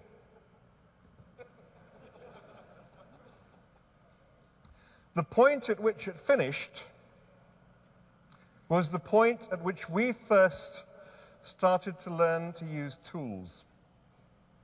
Give you an example of how it works. The sort of thing that drives evolutionary change is this. When some small group of a particular population of animals gets separated off from the main body um, and finds itself in some new environment. Maybe there's been some geological upheaval, maybe it's pressure of population, shortage of food, forces some small group to go off to a new environment. And let's say, in this case, a small body of animals has gone off to a new environment where it's much colder, or just a little bit colder. Come back in a few generations, and those genes that favor thicker coats will have come to the fore, and you'll find that the animal has developed over a few generations much thicker coats. Now, human beings go about this in a different way. Now, we have learned to live in all parts of the world. We can live in the we can live in the Sahara, we can live in the tundra, we can live in, uh, Um, we can live in the Gobi Desert. We can, live, we can even live in New York, for God's sake. We can live anywhere. Um, because what happens is if we move somewhere where, say, it's a little bit colder, and remember we're tool users, we move somewhere a little bit colder, we don't wait for generations to go by while nature brings forward those genes that give us a thicker coat. We see an animal that's got a thicker coat, we say, we'll have it off him. so we can continually protect ourselves from evolutionary change. So now we live in a world in which if you're sick or injured, you don't die. If the harvest fails, you don't die. If it's suddenly very, very cold, you don't die. If you're, uh, if you're rather sort of slow-witted, you don't die. If you're thoroughly stupid, you get elected to high office. Um,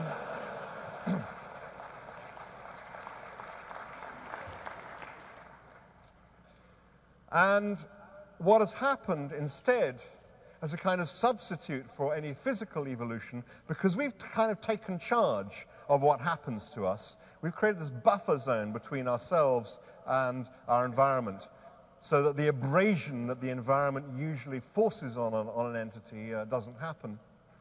Um, so instead, we have this, this culture we've created, and that first thing, that, that first use of tools and tool use came from the ability to put things together in our head, to model stuff in our head, to put concepts together, to see, to see some, some little thing that you learnt about um, the action of a sharp stone that you learnt in one context and the, the effect of a sharp stone uh, in another context. And you learn to sharpen a stone and take it somewhere else. And you do that by putting these things together in your head and then being able to create tools and create tools and create more tools and use these to change our world. So it's that ability to model stuff in software in our heads that has led to us creating this enormously complex culture which we live within and which uh, is the medium of our communication uh, and is our protection from the environment. Now, it was that tool use, that ability to model stuff in software, that led to the explosive rise of human culture. Curious parallel to that is what uh, happened to the personal computer. Because personal computers were around for a few years, used by hobbyists and uh, kids and anoraks. Uh, we were encouraged to think they'd be very useful things for storing our recipes in. The thing that led to the explosive takeoff of computers was a program called VisiCalc, designed by Dan Bricklin. The point about VisiCalc was it enabled us to model in software something, we were unable to model something in software before we tried it out in the real world you were able to take a whole business plan, a whole financial strategy, try tweaking a percentage point here, try taking a cent off there. How does that sweep through the whole picture? And you were we were able to do detailed models in software before we tried it out in the real world, and that was the moment at which the computer itself became an enormously useful tool, and that was what led to the explosive takeoff of the personal computer. Now, for a long time, we weren't really very clear about what computers were. I certainly wasn't. I remember the first time I ever saw a computer, a personal computer. It was a Commodore PET. It's kind of a little sort of pyramid kind of thing, sort of huge, great sort of body with tiny little screen. Uh, and it was sitting in a hardware store in London, England. And I went in and had a look at it and thought, well, this is a kind of great kind of thing. This is a kind of wonderful sort of thing. And I was sort of fascinated by it, but I just couldn't think. I couldn't imagine what possible purpose it could serve for me because I was a writer. What use could a computer possibly be to a writer. Um, and I puzzled about this. I have to say that I did, nevertheless, despite the fact I couldn't see any possible use for it, I did suffer the first tiniest pangs, uh, the first sort of inklings of something that subsequently was going to give a whole new meaning to the phrase disposable income. Um, but the reason that I didn't understand why it could possibly be any use to me was I had the wrong idea of what it was. I thought it was an adding machine. And this is what everybody thought it was. Everybody thought it was a kind of super adding machine and developed it as an adding machine. And after a while, we get, we get so adept at adding up numbers and manipulating numbers that you begin to think, well, we can do, we can make these numbers stand for something else. And we make the numbers stand for, let's say, the letters of the alphabet. And we invent ASCII code. And suddenly we say, God, we were so stupid. We were so short-sighted. Why do we think it was just an adding machine? It isn't an adding machine. It's much more wonderful than that. It's a typewriter. and we develop it as a typewriter with a long feature list. Then we look at it again, and the, our number crunching ability has got a little faster and a little more sophisticated. So we say, okay, let's, um, let's make each number stand for the elements of a graphic display, for pixels. And we suddenly realize, oh God, we were so short sighted to think it was just an adding machine or a typewriter. It's a television with a typewriter in front of it. We've now gone to another iteration with the World Wide Web. Because we're now saying it isn't any of those things, it isn't just a stupid television, it's a brochure.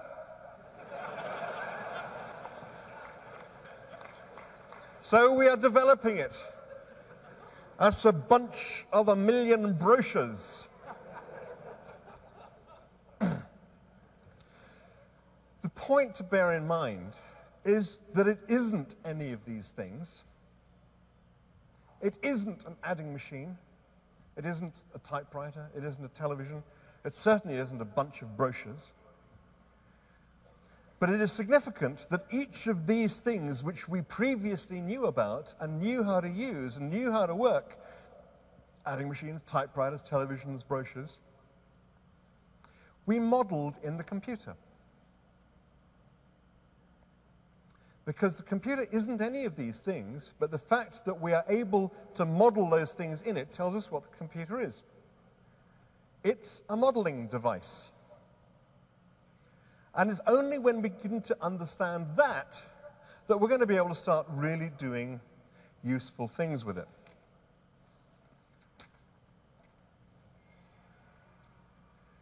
We have to abandon our old models in order to be able to think of the thing as a modeling device itself.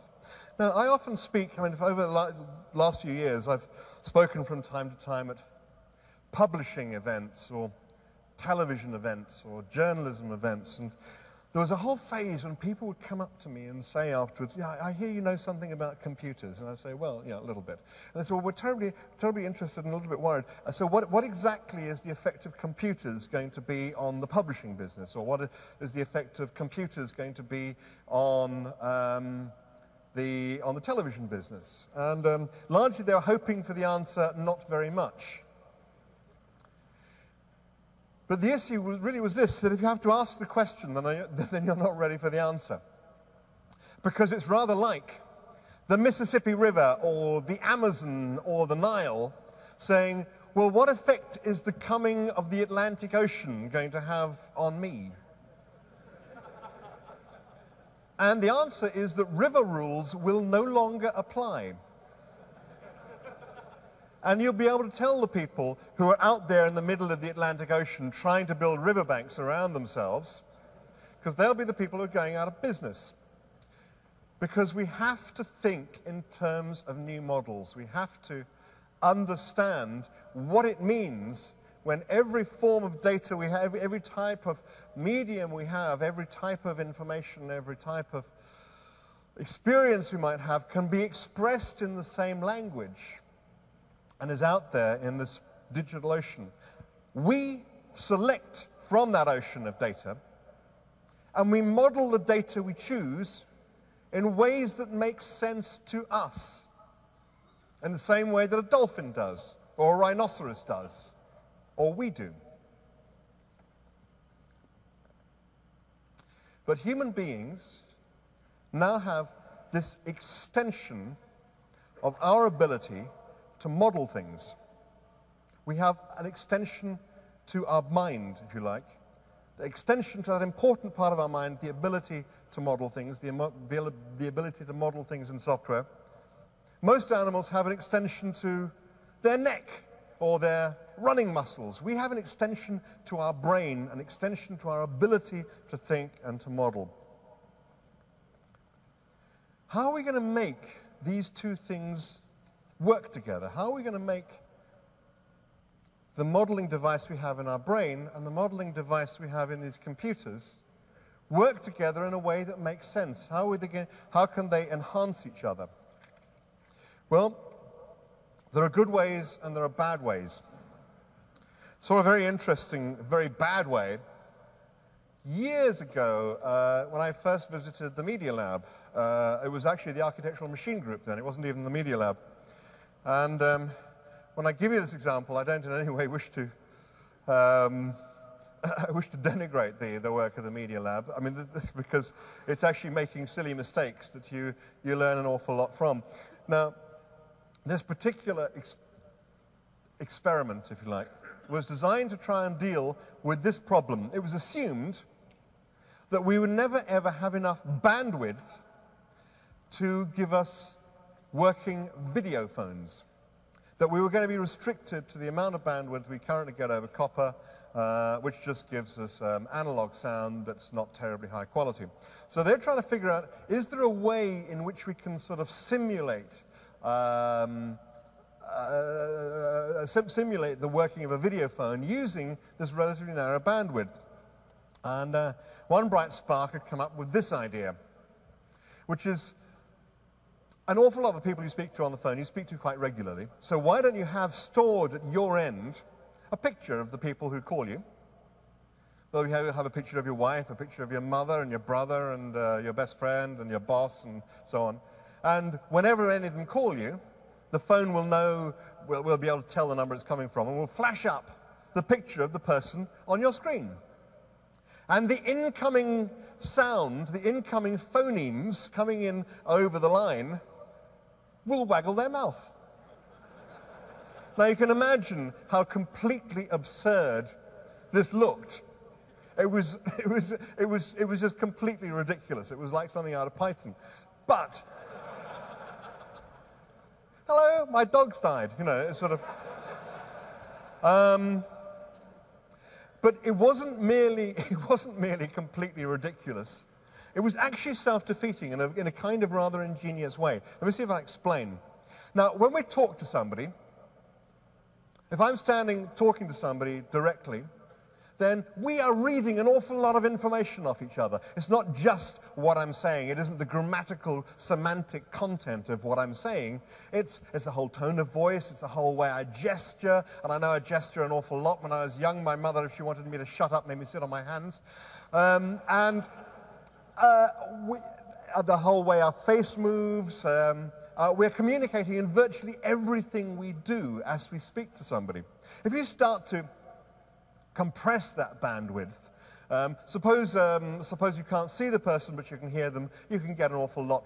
You, can, um, we're so adept, we are so fantastically adept at understanding, at communicating with understanding what other people say to us and what they mean, and deriving all kinds of uh, information from what they say, that even if we can't see them, we will actually fill that missing part of the bandwidth with, with information that we derive from just what we can hear.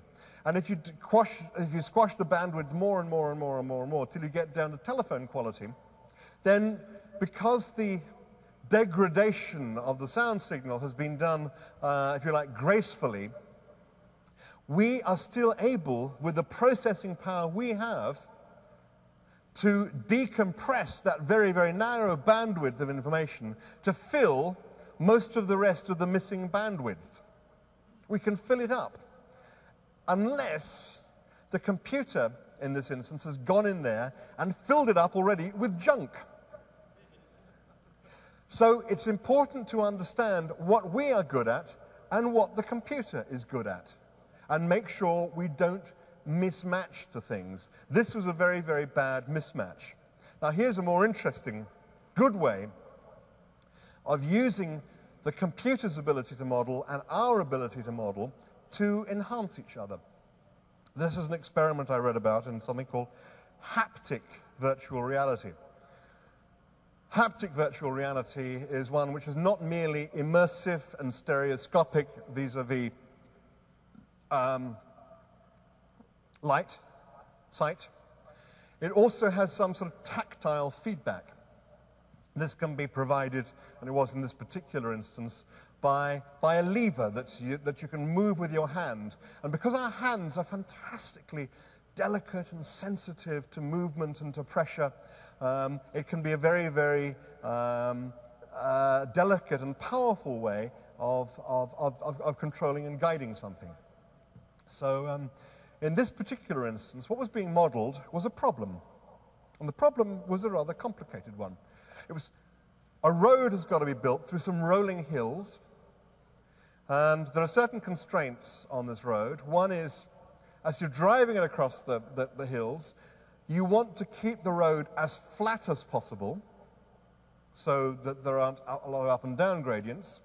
But you also want to make it as straight as possible so there aren't a lot of bends. Now, those are obviously two opposing constraints. If you add to it another constraint, which is there are a lot of houses along the way in these hills, and any house you knock down in order to build your road, you've got to buy. So the, the, there's, a, there's a major expense issue here, a major expense factor in how you determine the, uh, the track your road is going to take through these hills covered, that are first, first of all rolling hills and covered with houses. And the answer is that you build all kinds of, um, uh, uh, uh of resistances into the lever, which is, the, which is effectively a 3D stylus that you're going to try and draw the route of this road through the hills with.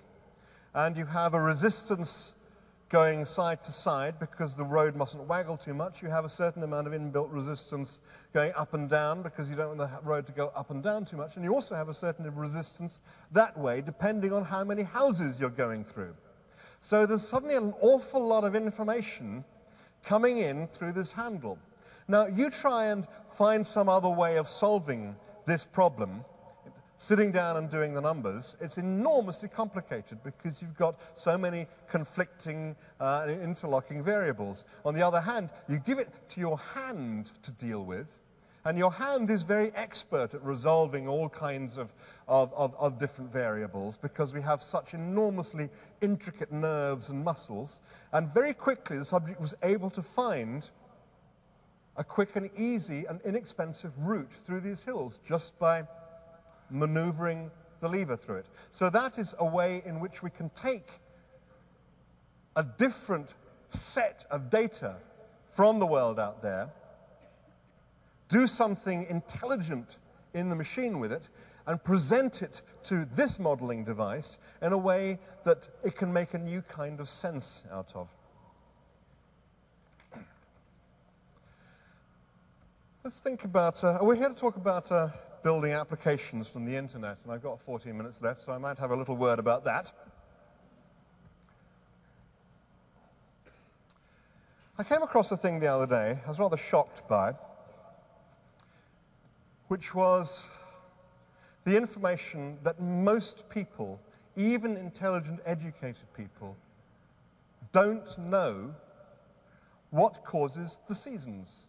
Why do we have spring, summer, autumn, and winter? Most people, when asked if they have any kind of intelligent answer at all, will say, isn't it something to do with the fact of being, you know, the Earth's orbit is an ellipse, and maybe it's winter when we're further away from the sun, and uh, summer when we're closer to the sun? Now, a couple of seconds thought will tell you that isn't the case, because when it's summer in England, it's winter in Australia, and vice versa. Um, and in fact, the Earth's orbit is, very, is at the moment very, very close to being circular.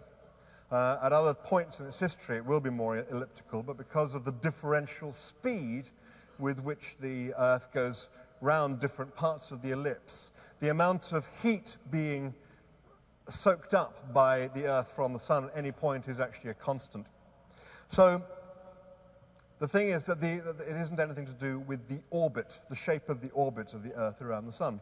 And it's very, very simple. It has to do with the fact that the Earth spins at a slight angle. It's not completely upright. And uh, so as it goes around the Sun, uh, different parts of the world um, are tilted to, directly towards the sun at different times of the year. And when you're tilted towards the sun, you're going to have summer, and when you're tilted away from the sun, you're going to have winter, and spring and autumn will obviously, spring and fall will obviously fall in between. So here is a single, simple piece of information that people ought to have. People ought to know that. What can you do with that piece of information? If you felt, well, people ought ought to know it? Well, one of the things you could do is you could put it on the web. You could type up the uh, description I've just given you and put it on your homepage and invite people who want to know what causes the seasons to visit your homepage and read what you've written, and lo and behold, they will then know. Well, I suppose that's quite a good idea.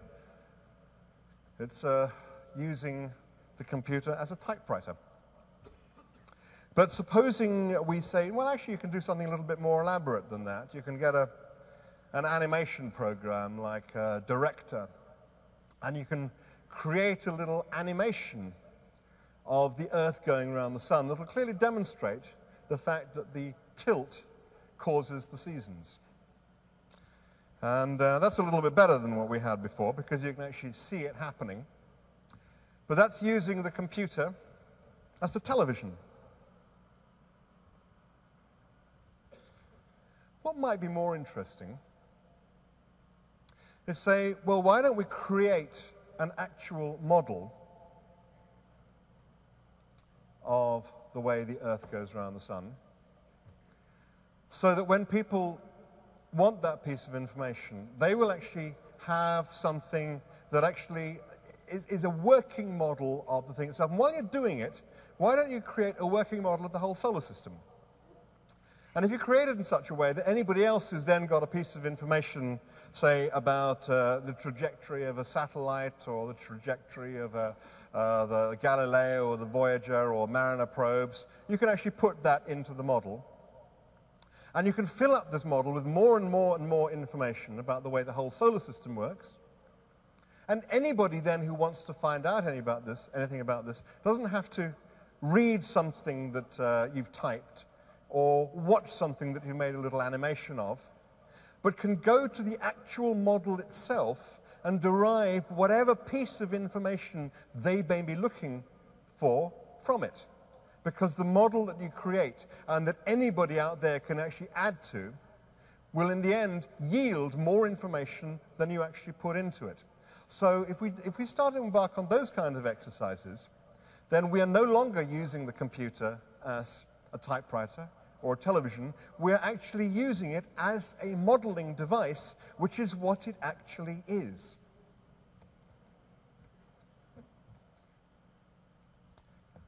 The first moment, I guess, it became apparent to me that there was something new and strange happening out in the world, the World Wide Web. The first moment at which I knew something was up, that we weren't in Kansas anymore, that the world was shaking beneath our feet was something profoundly silly.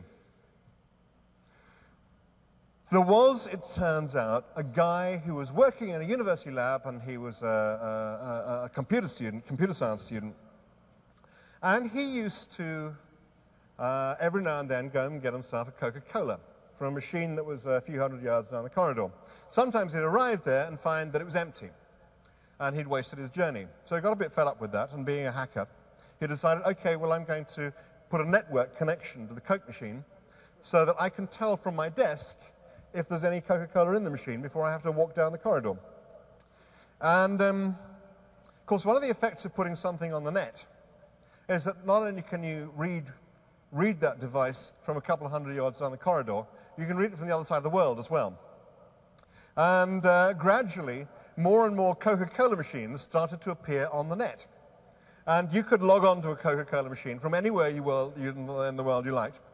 and discover how many Diet Cokes there were, how many Dr. Peppers there were, how many Fantas there were, when, they'd la- when, when la- last somebody had taken one of what, when they were last loaded up, what temperature they were. I mean, it was an, an, an enormous wealth of completely meaningless information. But the great thing, the great and completely and utterly frivolous, meaningless thing was that if somebody had gone to that machine and had put 50 cents in the slot and hadn't pressed the button, and you came across a machine in that pregnant state from anywhere in the world, from 10,000 miles away, you could drop that can. and somebody would be walking along the corridor and walking past this Coca Cola machine, and suddenly, out of nowhere, like a Coca Cola can would drop out of the machine. Now, I don't know what the person would think. They probably wouldn't have thought it was somebody sending a code from 10,000 miles away that did that.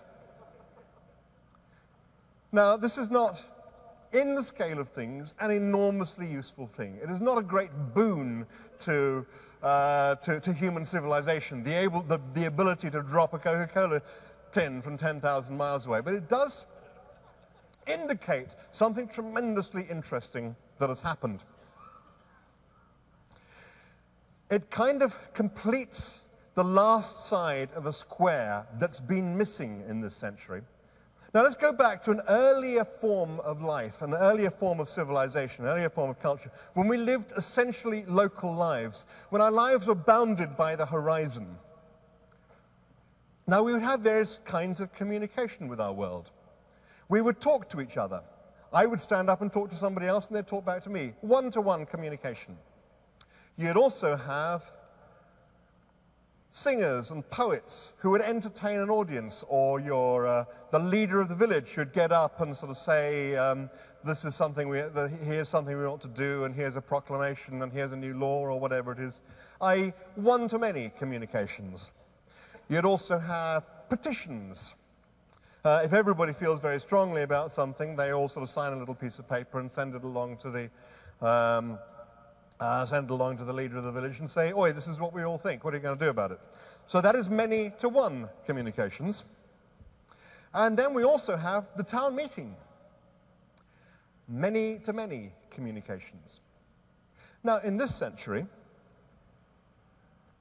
we have found electronic models for all our different types of communication.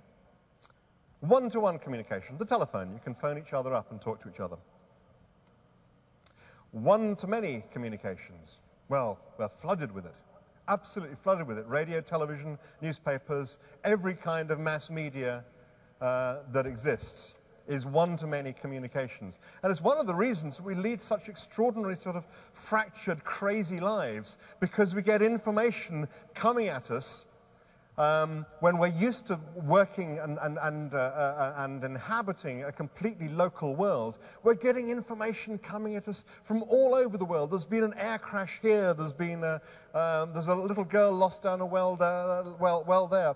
Um, all this information that we get terribly worked up about, even though it's thousands of miles away or hundred miles, hundreds of miles away, and however much you react to it, the world doesn't react back to your reaction. It is purely one-to-many communications, and it becomes very, very oppressive. Um, we also now have um, the ability to do uh, petitions, obviously, on a national basis. So that's many to one communications, but never until the web arrived, until the internet infrastructure arrived, did we have the ability to respond back to the world. When the world sends us all sorts of stimulus, previously, however we responded, the world didn't take any account of our response. That last element was missing, the many to many communication. The fact that we can reach out in the world and contact, touch, communicate with other people, which is signaled by the fact that you can just quite trivially and pointlessly and frivolously reach out and drop a Coca Cola can 10,000 miles away. That is what signifies that that last corner, that last square, that last, last side of the square has been put in place. And suddenly, our means of communication with each other in the virtual world now matches, is now parallel to our means of communication with each other in the real world. And that, I think, is a very significant moment. A little while ago, I was trying to find out, as a matter of interest, what a biologist's definition of life is. It's kind of very, it's, it's, it's actually quite tricky to try and work out. And we all instinctively know what's alive and what isn't. But trying to define it is actually oddly tricky. I mean, any, any set of objects that's going to include both Bill Gates and the Great Barrier Reef is going to be hard to define with any sort of great um, precision. Um, however, there are certain things that you can say that something lifelike will exhibit. Certainly complexity, the ability to uh, organize information within itself, the ability to respond to information, the ability to communicate. All these things are the things that we would think of as being lifelike qualities. Now, the computer itself is not really a very good example of something that exhibits lifelike qualities. Um, but when you consider what is happening in this buffer zone we've created around ourselves, this, uh, the, that started with the animal skins we put around ourselves and then went to the bricks and the mortar and then gradually the more and more, all of the, all of the enormous complexities of, of modern life that we have surrounded ourselves, the buffer zone that separates ourselves from our environment. And when you consider that this buffer zone is now something that we are wiring up with enormous complexity by putting all the devices that we use to model our world into communication with each other. So these uh, enor enormously tangled networks are spreading out through this buffer zone, and the information that is moving through those networks. And this is the most extraordinary facet of the net. As the information moves, moves through the net, part of what's going through it um, are new pieces of software that will increase the level of complexity and organization in the net. Um, and you'll find messages going backwards and forwards between ourselves, between each other, between the different computers, between the outside world and ourselves, between our environment and ourselves. And gradually, this buffer zone we've, correct, uh, we've uh, connected around ourselves is becoming less and less like, uh, like the brick walls of a house, keeping out the cold, and more and more like a virtual epidermis, which is responding to it. So, the message that I would like to try and put across to people as we develop the stuff that's going to go into this wired up buffer zone that is gradually beginning to form, if you like, the next stage of our evolution is don't build dead things in it. Don't build dead pages build living models. Thank you very much.